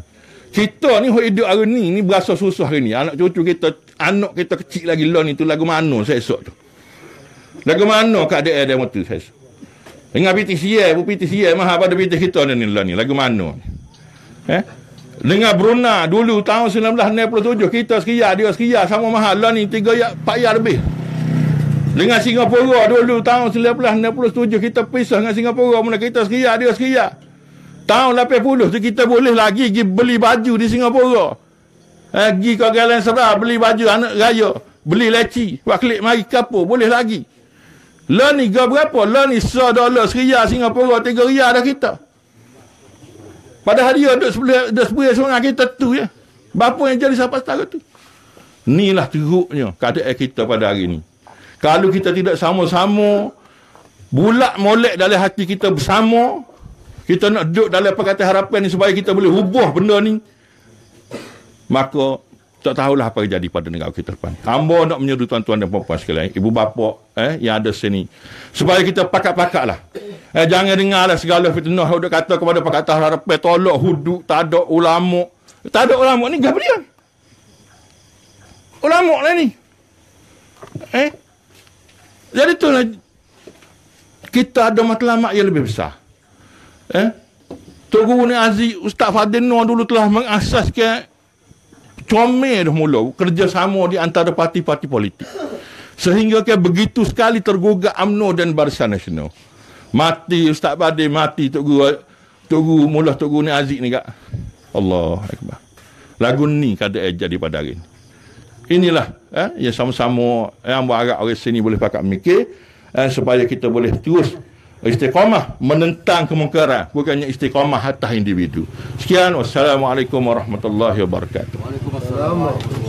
Waalaikumsalam warahmatullahi wabarakatuh. Demikianlah tadi ucapan daripada Hisham uh, Pauzi yang telah memberi penjelasan panjang lebar kepada kita berhubung dengan apa ni ha undang-undang, ha wuduk, ha, ha bagaimana negara kita dalam keadaan tenak pada masa sekarang ni. Jadi bagi meneruskan acara saya rasa saya nak persilakan Cik Nazam. Mana mana Nazam? Cik Nazam. Baik sebelum kita meneruskan acara seterusnya kita nak uh, menyampaikan uh, penyerahan borang ahli amanah iaitu seramai 69 orang. Ha? Dia telah mengisi keahlian amanah. Ha? Dalam 2 3 hari ni. Daripada kolam ada 13 orang. Ha, bujuk. Ha. Ha, dipersilakan uh, Cik Nazar Nazar lah orang yang uh, bekerja keras untuk mencari ahli. Ya. Okey. So. Dia mana ambil gambar? Ha. Ambil gambar sekali. Oh, sekali. Oh, Ah, Nazar lah orang yang bertukuh lumu sejak dua minggu lepas yang telah mencari ahli tiga kawannya iaitu kolam pekalan macam sisa tinggi dan bujuk. Jadi kita ucap tahniah. Di atas kerjasama yang telah diberikan oleh Cik Nazar kerana mendapat ahli yang begitu ramai. Dalam masa dua minggu dia telah dapat mengumpulkan 65 tu pun tak ada nak isi ada lagi banyak lagi. Pukul ni tadi duduk ngisi bore lagi tak tadi. Eh? Bore ada lagi tak tak ada nak mengisi InsyaAllah selepas ni ramai, lebih ramai lagi yang akan menyertai apa ni ahli amanah. Ha, terima kasih saya ucapkan kepada uh, Cikgu Wan Abdul Rahim di atas penerimaan ahli amanah pada malam ini. Jadi sebelum kita mengadakan uh, sesi dialog kita ada masa lagi 45 minit. Ya, kita persilakan uh, Cikgu Wan Abdul Rahim untuk menyampaikan uh, ucapan sebagai amanah kepada kita sebagai tokoh ha, pengurusi amanah negeri Kelantan. Dengan segala hormatnya dipersilakan.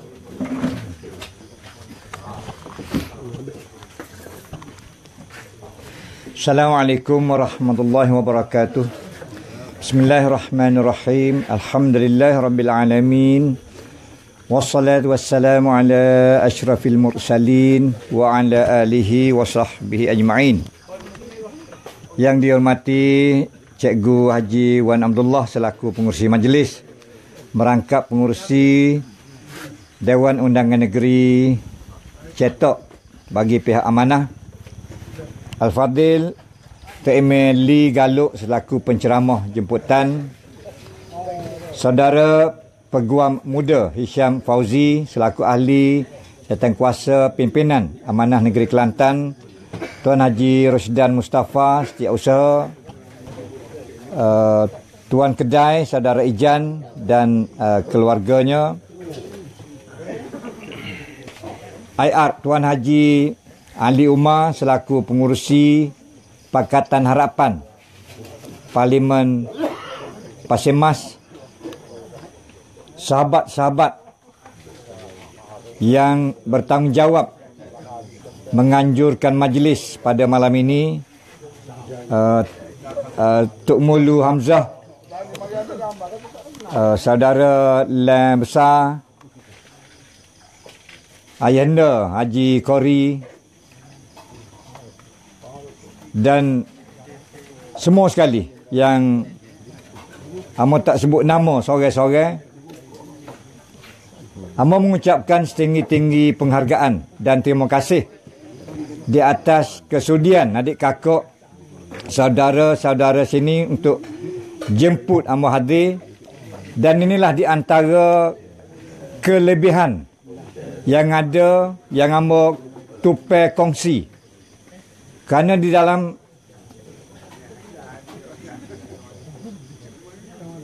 acara-acara sebeginilah hamba boleh sekali lagi datang ke Kampung Kolan ni, Kampung Bujuk, Kampung Casi, Pekalan Macam, uh, Kampung Ga, uh, Gabus, Kampung Gabus. Dan oleh kerana lama sangat hamba tak mari, telajak siapa ke sekolah kebangsaan Bukit Puruh tadi. Potong jalan tu comel. Jalan tu memang daripada Tok Uban tu masuk terus jalan tu straight lebih kurang 7 kilo sampai ke sekolah kebangsaan Bukit Puruh. Amo ucap terima kasihlah kepada yang berhormat Ustaz Abdul Halim Abdul Rahman wakil ayat kita sini dan juga ahli parlimen kita iaitu Ustaz Ni Abdul. Kerana jangan suka lah nak ucap terima kasih ya tak ada satu. Terima kasih di atas uh, uh, perkhidmatan uh, persiapan jalan. Cumanya Amba duk kecek dengan uh, IR Tuan Haji Ali Umar selaku pengurusi Pakatan Harapan Pasir Mah. Kalau sekiranya kita ada peluang selepas pilihan raya umum yang ke-14 ini, maka jalan hok kita masuk mari ke ke bujuk ni daripada cabai hok kedai kopi tadi. Ah, cabai tu orang panggil ke apa cabai tu? Kedua. Ah, balesah ada balesah situ tu. Kalau bolehnya serupa dengan hok rakyat di Pasir Mah hari tu. Maknanya Dua kaki alik kiri, dua kaki alik kanan kita buat crusheran. Supaya jalan ni boleh selisih di antara kereta dengan kereta. Eh? Ada tak tu tak lagi. Kita tambah kau tu dulu. Kita tambah. Kaki lima. Ha, kaki lima tu kita buat dengan batu kuari dulu. Supaya boleh selisih dengan selesa. Serupa mana yang disebut oleh Tuan Haji Ali kita di Seluruh Macam hari itu. Jalan daripada uh, jalan daripada Bunuk Susu sehinggalah ke Pasir Mas ikut uh, lain kereta api.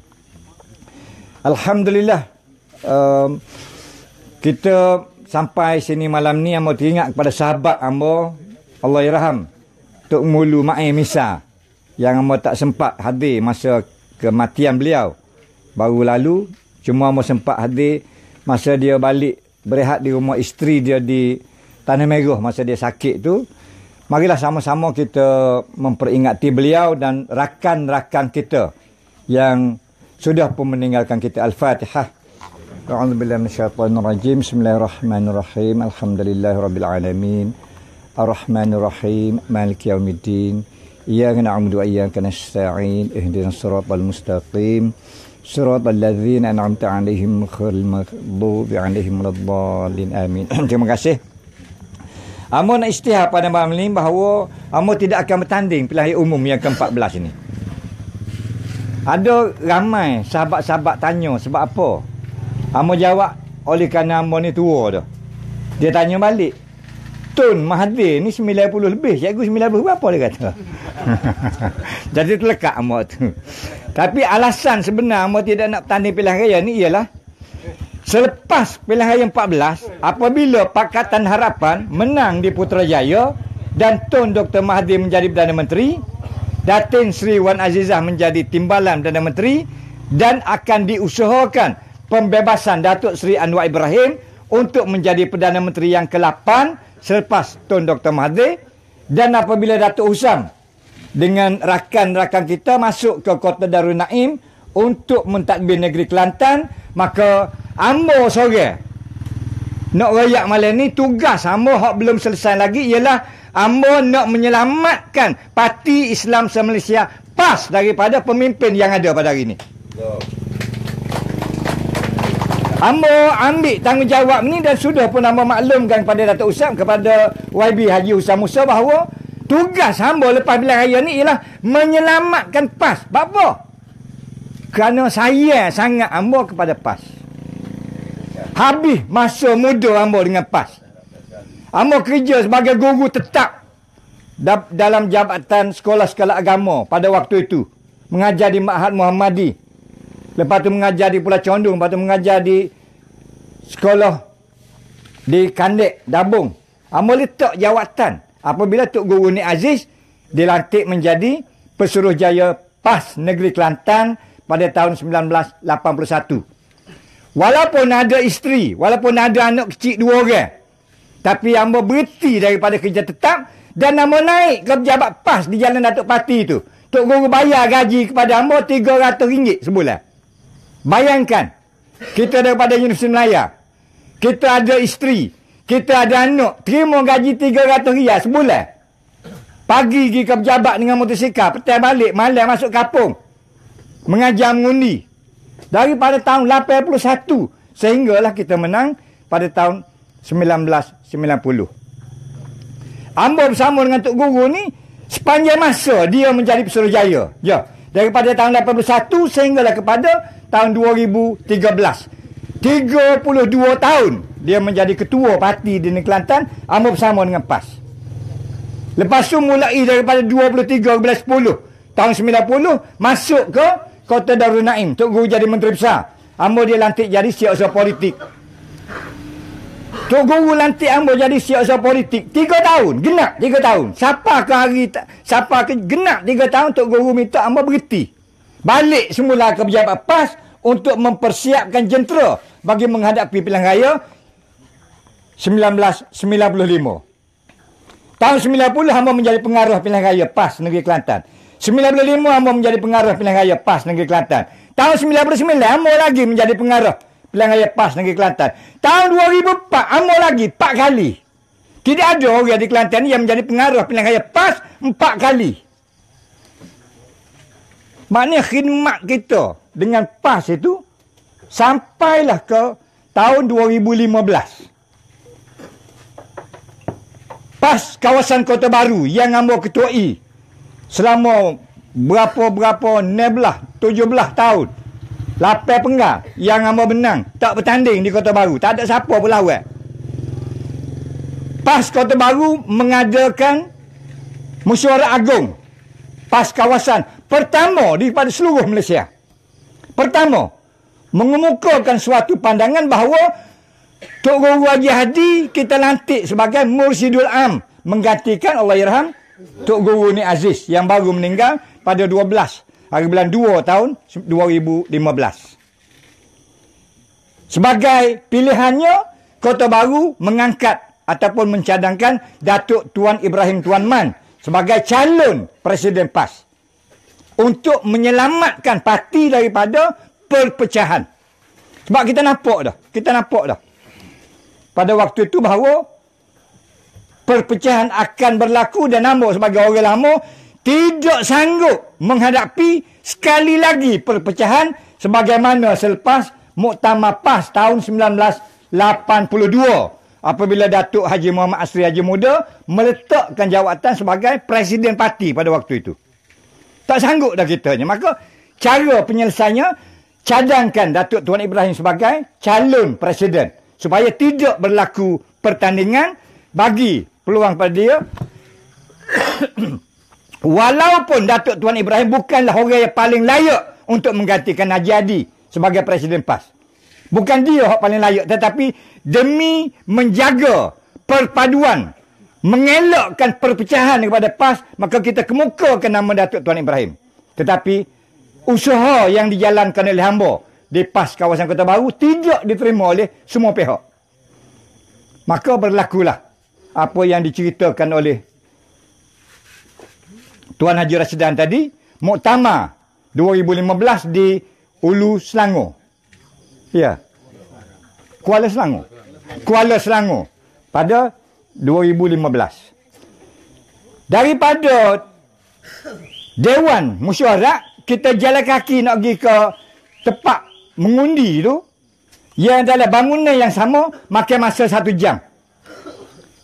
Kita ambil ke tahun ni, kita jalan kaki maka dalam suasana jalan kaki itulah kita boleh melihat rakan-rakan kita di seluruh negeri-negeri ini buat tanda. Ada setengahnya ambil ke tahun ni itu tepek atas belakang saya depan dia. Mengundi. Pakoh. Pakoh. pakoh-pakoh berdasarkan satu kertas yang khabarnya diedarkan oleh Dewan Ulama PAS Malaysia. Iaitu senarai CAI. CAI. Ada belakang dah. Senarai calon yang dia suruh pakoh. Ada setengahnya berhenti di duduk di kursi perwakilan muktamar tu. Berhenti situ letak CAI sebelah, maka tiru. Soso tiru, soso tiru, soso. Maka berlakulah apa yang berlaku keputusan pemilihan muktamar 2015. Sempurnalah perancangan yang dibuat oleh setengah-setengah pihak yang tidak bertanggungjawab. Sehingga kan ada orang yang benar pemilihan tu yang tak kenal dan tak boleh nak sebut nama. Daripada 2015 sampai ke hari ni kamu tak kenal dan tak boleh sebut nama. Boleh benar. Jadi kita 40 tahun dalam parti ni tak kenal pun dia. Tapi dia boleh benar kerana senarai dia, nama dia ada dalam senarai cai itu. Maknanya PAS ini walaupun jemaah yang kita sayang, yang kita korban, yang kita yang kita bina, yang yang Tok Guru ni Aziz ni merupakan orang yang paling utama. Maknanya apabila kapal sing kata kalau PAS nak melaksanakan hudud langkah mayat saya. Tapi Tok Guru pergi rumah kapal sing. Kapal sing waktu bik kek hari jadi, belah kek hari jadi. Sedangkan kita tahu bahawa Tok Guru Aziz ni bukanlah orang yang suka meraihkan hari jadi dia. Maknanya dari sudut keendah dakwah tu, walaupun orang marah pada kita, walaupun orang tak setuju kita, kita masuk rapat je dengan dia. Tetapi apa berlaku pada hari ini? Bas hak kita naik ni, hak kononnya nak pergi ke Putrajaya, sebenarnya bas, walaupun bas itu sudah, walaupun bas itu masih baik, Walaupun bas tu masih tak rusak tayarnya, bodinya, chassisnya, steeringnya. Tetapi hak rusaknya ialah driver yang kena pergi kuda. Driver bah ya terlibat dengan pergi kuda. Maka di atas keyakinan bahawa bas ini tentu tak akan sampai di Putrajaya. Maka kita buat bas baru yang dinamakan amanah. Selesai pilihan raya umum yang ke-14, maka Ambo, walaupun Haji Rasidan, walaupun kawan-kawan lain tak tunggu pun tak apa. Biar Ambo seorang. Ambo akan menyelamatkan PAS daripada pemimpin-pemimpin P ni. Nak buat lagu mana? Nak buat lagu mana? Ambo ada gagasan Ambo. Ambo ada cara Ambo nak menyelamatkan PAS ni. Kalau ada orang PAS yang masih sayang kepada PAS, nak bincang dengan Amor lagu mana nak selamatkan PAS, boleh. Amor bersedia bincang, tetapi pelaksanaannya selepas pilihan raya umum yang ke-14 apabila Haji Hadi tidak lagi menjadi Presiden PAS. Apabila Datuk Ahmad Yaakob tidak lagi menjadi Suruhjaya PAS. Apabila Datuk Naimah tidak lagi menjadi Timbalan Suruhjaya PAS. Apabila... Ah, tiga nama yang nak sebut. Hal lain-lain biar dulu. Tiga nama. Tak ada tiga ni, boleh. Kita duduk dan kita bincang. Lagu mana nak menyelamatkan jemaah PAS ini. Kerana sayangnya kita kepada PAS. Tok Guru ni Aziz pesan. Acak kali pesan. Jangan tunjukkan kemewahan hidup kita kepada rakyat. Jangan tunjuk. Walaupun kita ada duit, walaupun kita ada harta, walaupun kita ada kemampuan untuk membina rumah kau nak beli ke jangan tunjuk kau rakyat. Sebab itulah mana-mana kalau-kalau adik kakak perhati tempat hak dia pergi tempat makan gula tempat bekwah walaupun tuan rumah tu suruh dia duduk di meja pengantin makan di meja pengantin tapi sama-sama pun dia cari hak kuda. Hak kuda panjang itulah dia duduknya untuk bersama dengan rakyat. Tetapi generasi pewaris yang ada pada hari ini tidak tidak mengikut apa yang sudah pun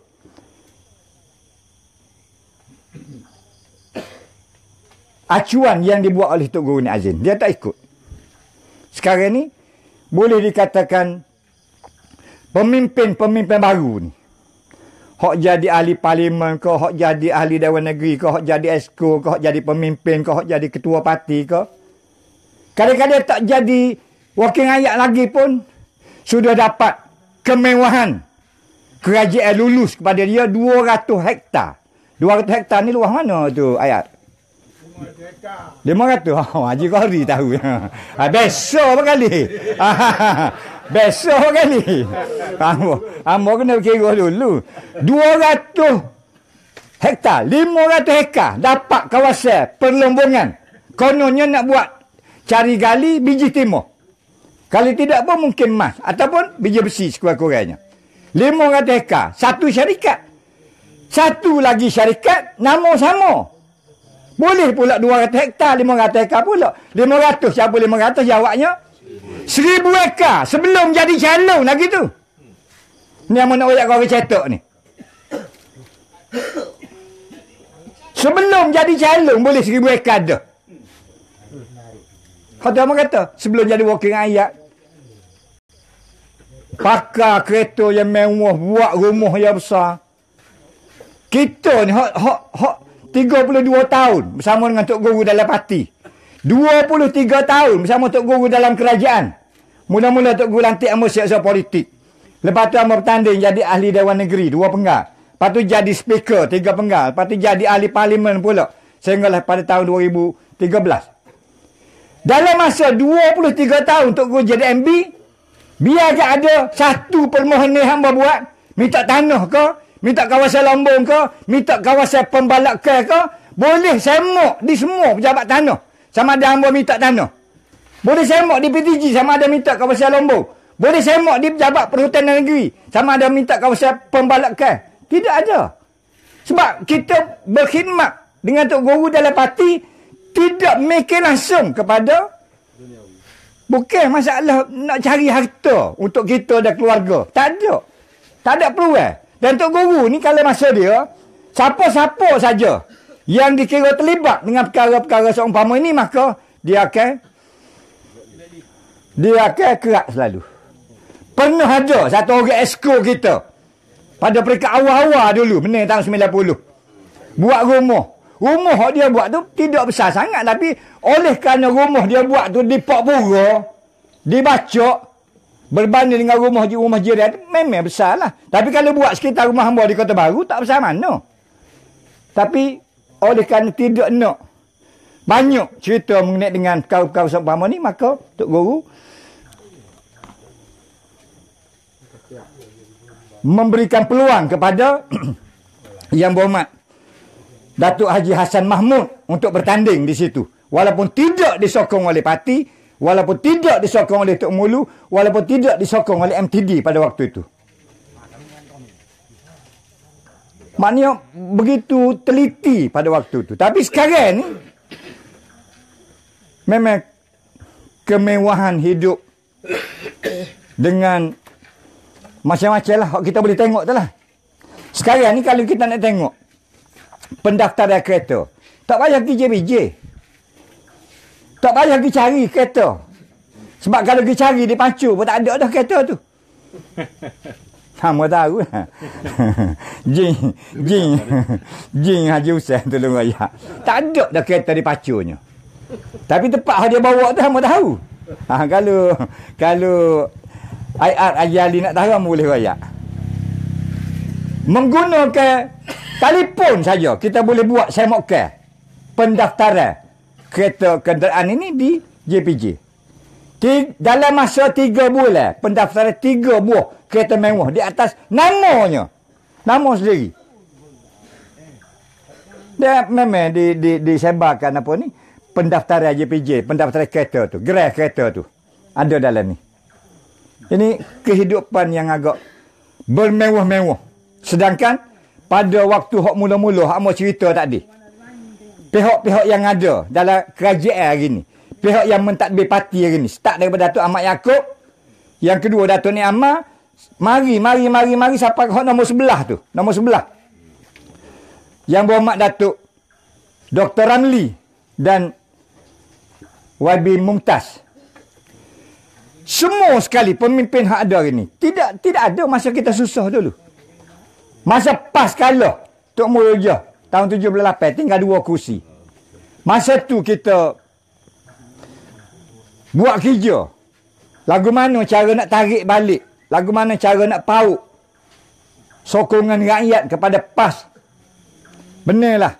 Pilihan raya yang berikutnya tahun 82 daripada 36 kursi yang dipertandingkan benarlah 10 dan Datuk Asri yang menjadi ketua pembangkang pada waktu itu. Mari pula pilihan raya empat tahun kemudiannya tahun 86 masih lagi kita kekal dengan 10 kursi. Orang-orang yang sebut tadi daripada Datuk Ahmad Yaakob, Datuk Nik Ahmad sampai kepada Datuk Ramli dan YB Mumtaz tak ada lagi tu masa tu. Sehingga kita benar balik dengan kerjasama yang bermak mulia kuli dan Parti Melayu Semangat 46 berjasa dan hamim di dalam apa yang dinamakan Akatan Perbuatan Ummah pun tak ada lagi. Masa mana puak-puak tu balik mari? Apabila Tok Guru jadi menteri besar, apabila Tok Guru duduk di Kota Darul Naim, apabila kita mentadbir kerajaan, maka mulailah hok jadi pensyarah peletak jawatan, hok jadi guru sekolah menengah peletak jawatan, hok mengaji tak habis di Azhar peletak jawatan, bagi balik bertanding tahun 1995. Menang dan jadi wakil rakyat, akhirnya dilantik jadi esko, sampailah kepada hari ini. Daripada senarai yang kata tadi, terakhirnya ialah Dr. Ramli di Bunuk Payung. Bertanding tahun 2013.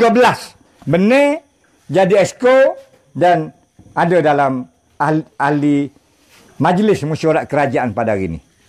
Maknanya, masa perjuangan lawan UMNO ni dia tak ada. Puak-puak dia ada sebelah orang yang sebut tadi, daripada nombor satu, nombor dua, sampai nombor sepuluh, nombor sebelah tu, semua sekali sebelah orang kita tak ada seorang pun yang bersama dengan kita. 78 tak ada, 82 tak ada, 86 tak ada, 90 empat kali pilihan raya pun tak ada. Semuanya paling awal mari tahun 1995. Mari di atas hamparan permaidani merah. Itulah yang menjadikan kelak kabut kita hari ini oleh kerana yang ada di atas sana tidak pernah merasa susah. Serupa dengan Datuk Najib lah. Raja dengar cerita dia kena kekah nyamuk. Dia kena gigit nyamuk. Raja dengar. Tak ada. Sebab dia anak Perdana Menteri. Tak ada habis ngaji, pergi ke England. Balik-balik kat bertanding kat Tito Nazak. Sampai kali ni dia duduk di Seri Perdana. Dalam keadaan serba mewah. Dengan, dengan segala kemewahan dunia. Dia tidak akan dia tidak akan sampai ke kedai kedai roti, roti cana ijan. Dia tidak akan sampai. Dia tidak akan sesak jalan nak masuk mari ke bujuk ni. Sebab dia dalam keadaan senang.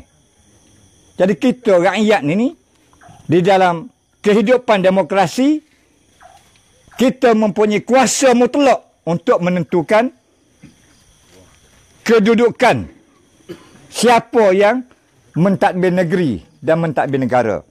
Jadi saya rasa saya nak berhenti dulu situ untuk memberi peluang kepada uh, tuan kedai ke ataupun siapa-siapa yang nak mengemukakan persoalan. Sila.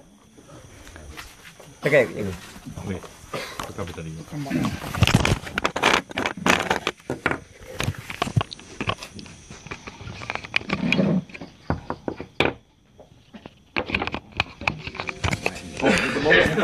Ni juga.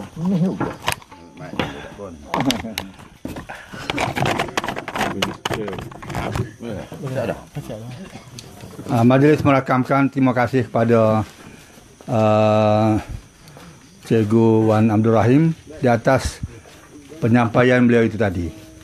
Jadi masa kita ada 15 minit lagi. Jadi sekarang kita buka peluang kepada uh, tuan-tuan untuk kemukakan soalan. Kerana ini majlis dialog. Jadi kita bagi peluang lah. Berasa tak puas hati harga puas harga apa gapo gapo ha silakan. Orang muda lah. Orang muda. Mari boleh. Pemuda tu boleh tanya. Kita nak ha, kita nak tanyalah kalau rasa boleh. Kok mana duk sakut duk skor sebok selama kini lah. Bagi pandangan pun boleh. Ha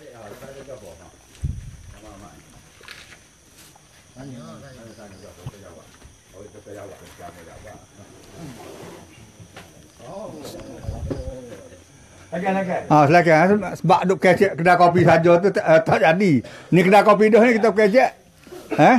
Ada. Untuk nak jawab tak ada. Silakan. Salam.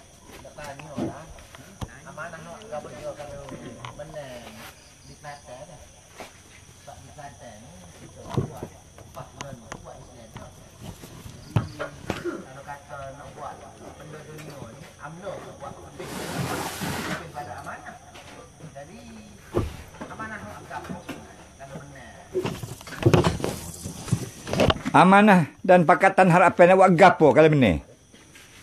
Ya. Kita nak minta uh, orang yang akan bertanding dan insyaAllah akan jadi exco Kerajaan Negeri Kelantan. Lepas pilihan raya 14 ni. Sila. Jawab. Eh? Ambo ingat dia ingat dia nak jawab ni. Astagfirullahalazim. Bismillahirrahmanirrahim. Uh, wallahu alam uh, bisawab. Kalau kita melihat kepada uh, sejarah kegemilangan Islam Kerajaan Abbasiyah. Kerajaan Abbasiyah diiktiraf sebagai zaman kemuncak kegemilangan ilmu. Sehingga kan apabila kerajaan Mughul uh, Genghis Khan melanggar uh, apa kerajaan di Baghdad sungai kota Baghdad menjadi hitam kerana kitab-kitab yang dibuang di dalam sungai begitu sekali banyak kitab yang dirosakkan menggambarkan pada masa itu kegemilangan ilmu yang sangat-sangat tinggi. Dan kesan daripada kegemilangan ilmu ini boleh dilihat sampai ke hari ini eh, yang ada di zaman Abbasiyah kerajaan Abbasiyah jatuh dan uh, akhir sekali uh, khalifah yang terakhirnya ialah uh, di dalam kerajaan Abbasiyah kedua yang berpusat di Mesir kerajaan uh, khalifah yang terakhir ialah uh, mutawakil ketiga pada tahun 19 pada tahun 920 kalah kepada Sultan Salim I. Sultan Salim I ini adalah daripada kerajaan Uthmaniyah. Kerajaan Uthmaniyah ni adalah kalau kita lihat dari sudut uh, kerajaan khalifahnya di akhir sekali. Mula-mula dengan Rasulullah uh, sebagai pemerintah, kemudian khalifah Pak mari. Khalifah Pak ni ialah Abu Bakar, Umar, Uthman, Ali. Habis Sayyidina Ali, maka naiklah kerajaan Muawiyah. Eh? Kerajaan uh, Bani Umayyah. Umayyah. Yang dimulakan oleh uh, Khalifah Muawiyah. Eh. Jatuh kerajaan Umayyah, maka naik kerajaan Abbasiyah. Jatuh kerajaan Abbasiyah, maka naik kerajaan Uthmaniyah. Baik, kerajaan Uthmaniyah ini berakhir pada tahun 1924. Nah, secara efektifnya dia tak ada ke sekarang 1927. Okey. Apabila zaman Rasulullah dulu, Rasulullah pernah berkata akan datang pada satu zaman Konstantinopel akan dibuka oleh orang Islam. Rajanya adalah sebaik-baik raja, tenteranya ialah sebaik-baik tentera. Hal ni Rasulullah kata masa Rasulullah hidup mula. Bila jatuh Konstantinopel? Adakah Konstantinopel ni ataupun pada hari ni yang kita sebut sebagai Istanbul ni jatuh pada zaman Rasulullah? Tak. Adakah jatuh pada zaman Khalifah Pak? Tak. Adakah jatuh pada kerajaan Muawiyah? Kerajaan Umayyah? Tidak. Adakah jatuh pada kerajaan Abbasiyah ketika kegemilangan kemuncak ilmu begitu sekali pada masa itu? Tak. Bila jatuh? Jatuhnya apabila mari Sultan Muhammad Al-Fatih. Sultan Muhammad Al-Fatih ini adalah salah seorang pemerintah di bawah kerajaan Uthmaniyah. Dia mari lepas pada tu. Akhir sekali. Jadi kalulah nak menjatuhkan kerajaan yang sedia ada ni adalah satu kerajaan benda yang haram. Maka Rasulullah ni dia tidak akan itirah lah. Sultan Muhammad Al-Fatih ni. Sebagai sultan sebaik-baik raja dan askarnya adalah sebaik-baik askar. Kita tidak tahu gapo yang akan berlaku lepas pada ni. Yang akan mari lebih baik. Walaupun pada satu ketika orang kata kerajaan Abbasiyah lah kerajaan yang paling baik. Kerajaan yang paling cemerlang. Eh, buka universiti, universiti Zaitun pada masa itu adalah universiti yang paling besar pada masa itu di samping universiti Al-Azhar Syarif. Eh, begitu sekali. Eh, juga pada masa yang sama juga wujud kerajaan Mamluk. Eh, kerajaan Andalusia di Spanyol. Kerajaan Andalus, Andalusia di Sepanyol ni pada masa itu ada seorang ulama nama dia Ibnu Firnas. Ibnu Firnas ini adalah orang yang pertama yang mencipta konsep gliding, konsep apa gelungsur udara yang boleh terbang guna guna sayap awak duk pak tinggi tu kan. Oh, gelosor kat turun boleh terbang, boleh rang. Itu Ibnu Firnas. Zaman kerajaan Mamluk di Sepanyol. Kerajaan Mamluk ini berakhir apabila jatuh ha, kerajaan Mamluk itu di kalangan di di di di di, di tangan uh, Queen. Nama apa? Queen Isabella eh? Pada masa yang sama di di seberang laut tu kerajaan Turki Osmaniyah kerajaan Turki Osmaniyah pada masa itu Sultan Bayazid kedua sedang memerintah. Sultan Bayazid kedua inilah yang menerima orang-orang Islam hok lari. Hok lari daripada kerajaan Mamluk. Hok lari daripada kerajaan Andalusia Islam hok yang berada di Cordoba tu lari pergi pakat terima situ termasuklah Yahudi-Yahudi yang dibuang pada masa itu kerana sikap kerasnya orang Kristian pada masa itu kepada orang Yahudi. Orang Yahudi pun diamat tobik daripada Sepanyol. Hamba tobik belaka maka semua mereka ni lari kepada kerajaan Turki Osmaniyah Sultan Bayazid kedua menerima mereka ni dengan jalan dengan dengan tangan terbuka. Dan semuanya diterima sebagai rakyat kerajaan Turki Osmaniyah dan kerajaan Turki Osmaniyah inilah yang hamba sebut saat ni Sultan Muhammad Al-Fatih yang Rasulullah ramalkan beratus tahun sebelum daripada itu sebaik-baik raja askarnya sebaik-baik askar berjaya membuka kota Konstantinopel eh? jadi gapo yang berlaku lepas pada ni adalah satu benda yang kita boleh letakkan satu visi dan kita berharap benda lebih baik kita menuju ke arah yang lebih baik eh? jadi kalau nak kata haram menjatuhkan kerajaan PAS pada hari ini Maka kita boleh juga lah mengatakan kepada Sultan Salim satu hari ni masa menjatuhkan Khalifah Mutawakil ketiga mula.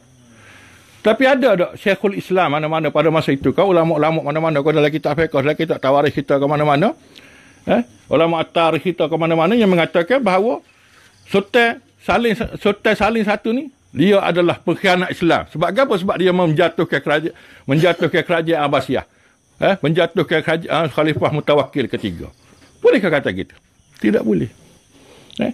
Yang mari lepas pada itu adalah yang lebih baik. Yang mari lepas pada itu adalah yang lebih beriltizam untuk kepada kepada Islam. Eh? Jadi kalau kita nak letak atas neraca pada hari ini, memang amanah tak ada apa-apa lah. Moga kita tidak mengetah. Barisan Nasional dia boleh tunjuklah benda moga dia kajian pusat. PAH dia boleh tunjuklah benda moga dia kajian, kajian negeri hari ini. Tapi yang kita nak tunjuk ni ialah kita semua ni, macam Cik Rahim, dia bukan, walaupun parti baru, tapi dia bukan orang baru dalam politik. Eh? Banyak pemimpin-pemimpin parti amanah. Parti bersatu ke? Eh? Parti PKR ke? Walaupun parti ini adalah parti yang baru dari segi hukum umumnya berbanding dengan PAH, tapi semuanya sudah mempunyai pengalaman politik yang panjang di dalam partinya yang lama dan lebih beriltizam untuk melakukan perubahan untuk kita nak buat. Law ni kita royak benda yang kita nak buat tu jelas dah tu. Hak kita nak buat tu kita royak dengan jelas dah kita nak buat gapo. Eh? Yang masalah lainnya kita tengok PAH tu sendiri Benda dia nak buat sebab kita tak apa nak jelas. jelas. Eh? Jadi gitulah ha, sebagai jawapan daripada Pak Ambo. Sekian Assalamualaikum. Okey, saya harap uh, pihak yang bertanya tu rasa jelas dia yang mendengar supalah. Jadi kalau kita tengok pada projek-projek pembangunan kerajaan lo ni dia berganda-ganda. Dia punya belanja bayar tiri kut luar. Bocor. Rasuah berlaku sana sini. Jadi kalau harap Pakat harapan mereka benar-benar tidak akan berlaku. Lah rasuah apa gitu gini tu. Ha, itu yang kita harap kita nak tukar kerja baru ni. Kita nak tukar. Sebab kita tidak mau ketirisan. Kita tidak mau. Kita nak memerangi rasuah. Ni kita dua ayat saja. Nak memerangi rasuah. Tak suka kau rasuah apa gitu gini. Tapi rasuah tetap berlaku. Sehingga kita, kita tidak dapat nak. Tidak ada orang yang boleh nak, nak takak. Apa ni. Orang yang Makin rasuah betul. Sebab dia berkuasa. Payah. Tak berani. Sebab orang yang nak orang nak melakak tu, orang dia latih. Payah lah. Jadi sekarang ni kita putus kerajaan ni. Bina kerajaan baru. Ah, barulah kita boleh bertindak. Mengikut masuk depan negara. Okey, sekarang kalau ada lagi, masuk ada lagi ni. Ada lagi yang nak tanya? Ha, masa ada tujuh minit lagi. Dan lagi soalan? Lagi. Lagi. Ha, lagi. Assalamualaikum. Waalaikumsalam. Saya ni Mak Kedah panggil. Dulu salah seorang ahli keselamatan paling rumah Bagas Pak lah. Ha, ni Ulung dah dikau dah dulu ni. Ha, Okey. Uh, saya bukan nak tanya soalan. Sebenarnya saya nak buat ulasan sikit apa terjadi di masa kini tentang politik semasa. Yang mana kita lihat apa terjadi di parti amanah. Saya yakin yang mana yang diberi, diberitahu oleh Cikgu Abdul Rahim tadi ah, yang utama di mana Kelang dulu. Raya. Ya, itu adalah betul. Ulu Selangor, Ulu Selangor. Eh, Kuala Selangor. Pihak-pihak yang berkenaan yang setelah saya jumpa, cai itu betul cikgu. Apa sebab? Tak dengar, tak dengar. Cuba, cuba. Mari sini. Cuba. Adinda yang telah tersirat Dah lah. Kita kita nak uh, kita nak kongsi dengan uh, penonton kita banyak ribu ni. Ah, mari. Live, live, live. Sini, Mak. Ha. Sini. Ah, sini, sini. Ah, Ah, pekat, pekat, nak pekat. Ah, bahasa ni ah, kursi kursi pengalaman. Okey. Okey, okey, boleh. Okey, saya kok Sini, Mak. Sini tegas sikit. Oh, masuk live ni. Kawan-kawan nak kongsi. Sekali lagi, ulas mula. Okey.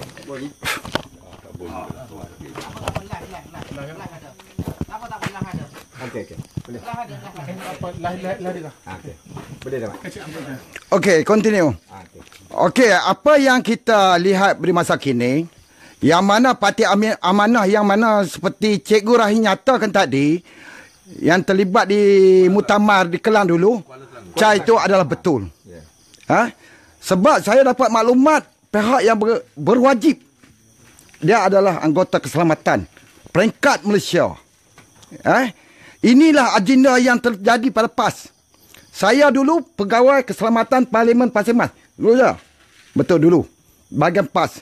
Yang mana dulu uh, YB ni Adoh, YB Ustaz Alim, uh, YB Anipah dan Rozi. Saya lah di depan sekali masa tu. Sekarang saya dapat maklumat tu, saya dah tak yakin dengan apa perjuangan PAS sekarang ni. Kerana apa? Dah tentu dah dedak. Apa sebab? Setelah muktamar PAS jadi macam tu, barulah Muhyiddin dengan Syafiq Abdah dipecat. Ada perasan tak cikgu? Selepas tu. Inilah yang kita kena fikir semua. Sekarang kita kena fikir itu semua. Sekarang, kalau kita bersama PAS, adakah boleh menumbang kerajaan Barisan Nasional? Tidak boleh. Boleh tak boleh? Dah sentuh dah nak menumbang parti yang besar, kena duduk dalam Pakatan Harapan. Baru boleh menumbang. Kalau kita bersama PAS lagi, duduk situlah. Tak berubah. Adakah nak sekadar nak pertahankan negeri kandan? Tak betul. Tumbang Putrajaya. Duduk macam tu juga. Ada otak berfikir nak mengubah keadaan kita. Siapa? Orang Melayu. Takkan orang Melayu nak berempat di tanah Melayu? Kena fikir. Melayu yang mempodohkan Melayu sekarang ni. Bukan bangsa-bangsa lain. Ini kena fikir. Sekarang marilah kita bersama dalam Pakatan Harapan untuk menumbang kerajaan yang ada. Takbir! Saya sebagai saya anggota tentera udara, komando dan saya kami veteran-veteran berpihak pada Pakatan Harapan. Ini sekian dari sini saya wabillahi taufik wal hidayah. Wassalamualaikum warahmatullahi taala. Allah. Mak wala mak kau. Terima kasih. Ah, terima kasih.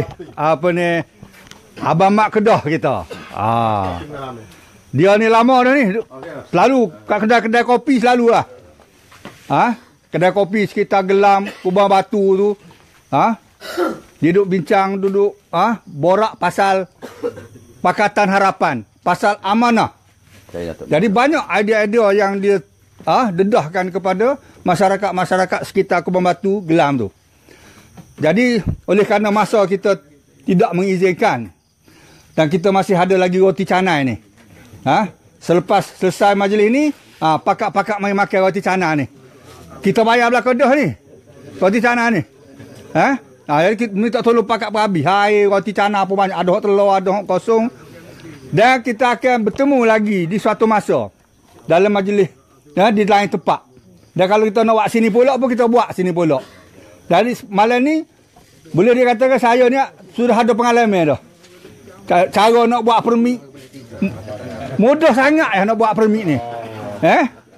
Ha, dengan dibantu oleh setiausaha amanah kawasan. Jadi nak permit mudah benar. Tak boleh-boleh. Mau duduk di pasir mah tu, rupanya geng-geng geng saya berlaku.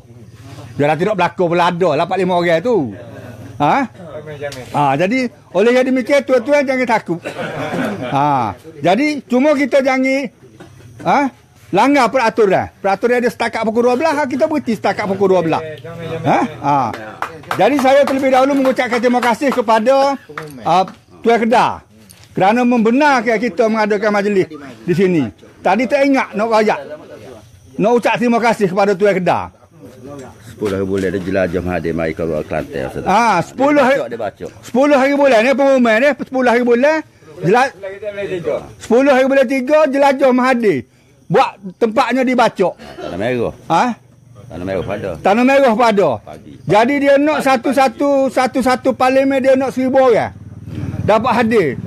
Dan kalau boleh sebar ke benda ni supaya semua orang tahu dia kita pakat pergi dengar. Pakat pergi dengar belaka. Pagi di Tanah Merah. Mahathir ni dia lah UMNO kata dia nyanyuk. Eh? Ya dia duk sokong Mahathir dulu kut jalan mana? Pahala ni dia kata Mahathir nyanyuk. Rasanya cidik Mahathir pada dia. Ha, jadi kita pakai pergi dengar Mahathir mari ni lagu mana. Allah. Pada dia orang cidik. Dulu dia bermusuh dengan Anwar.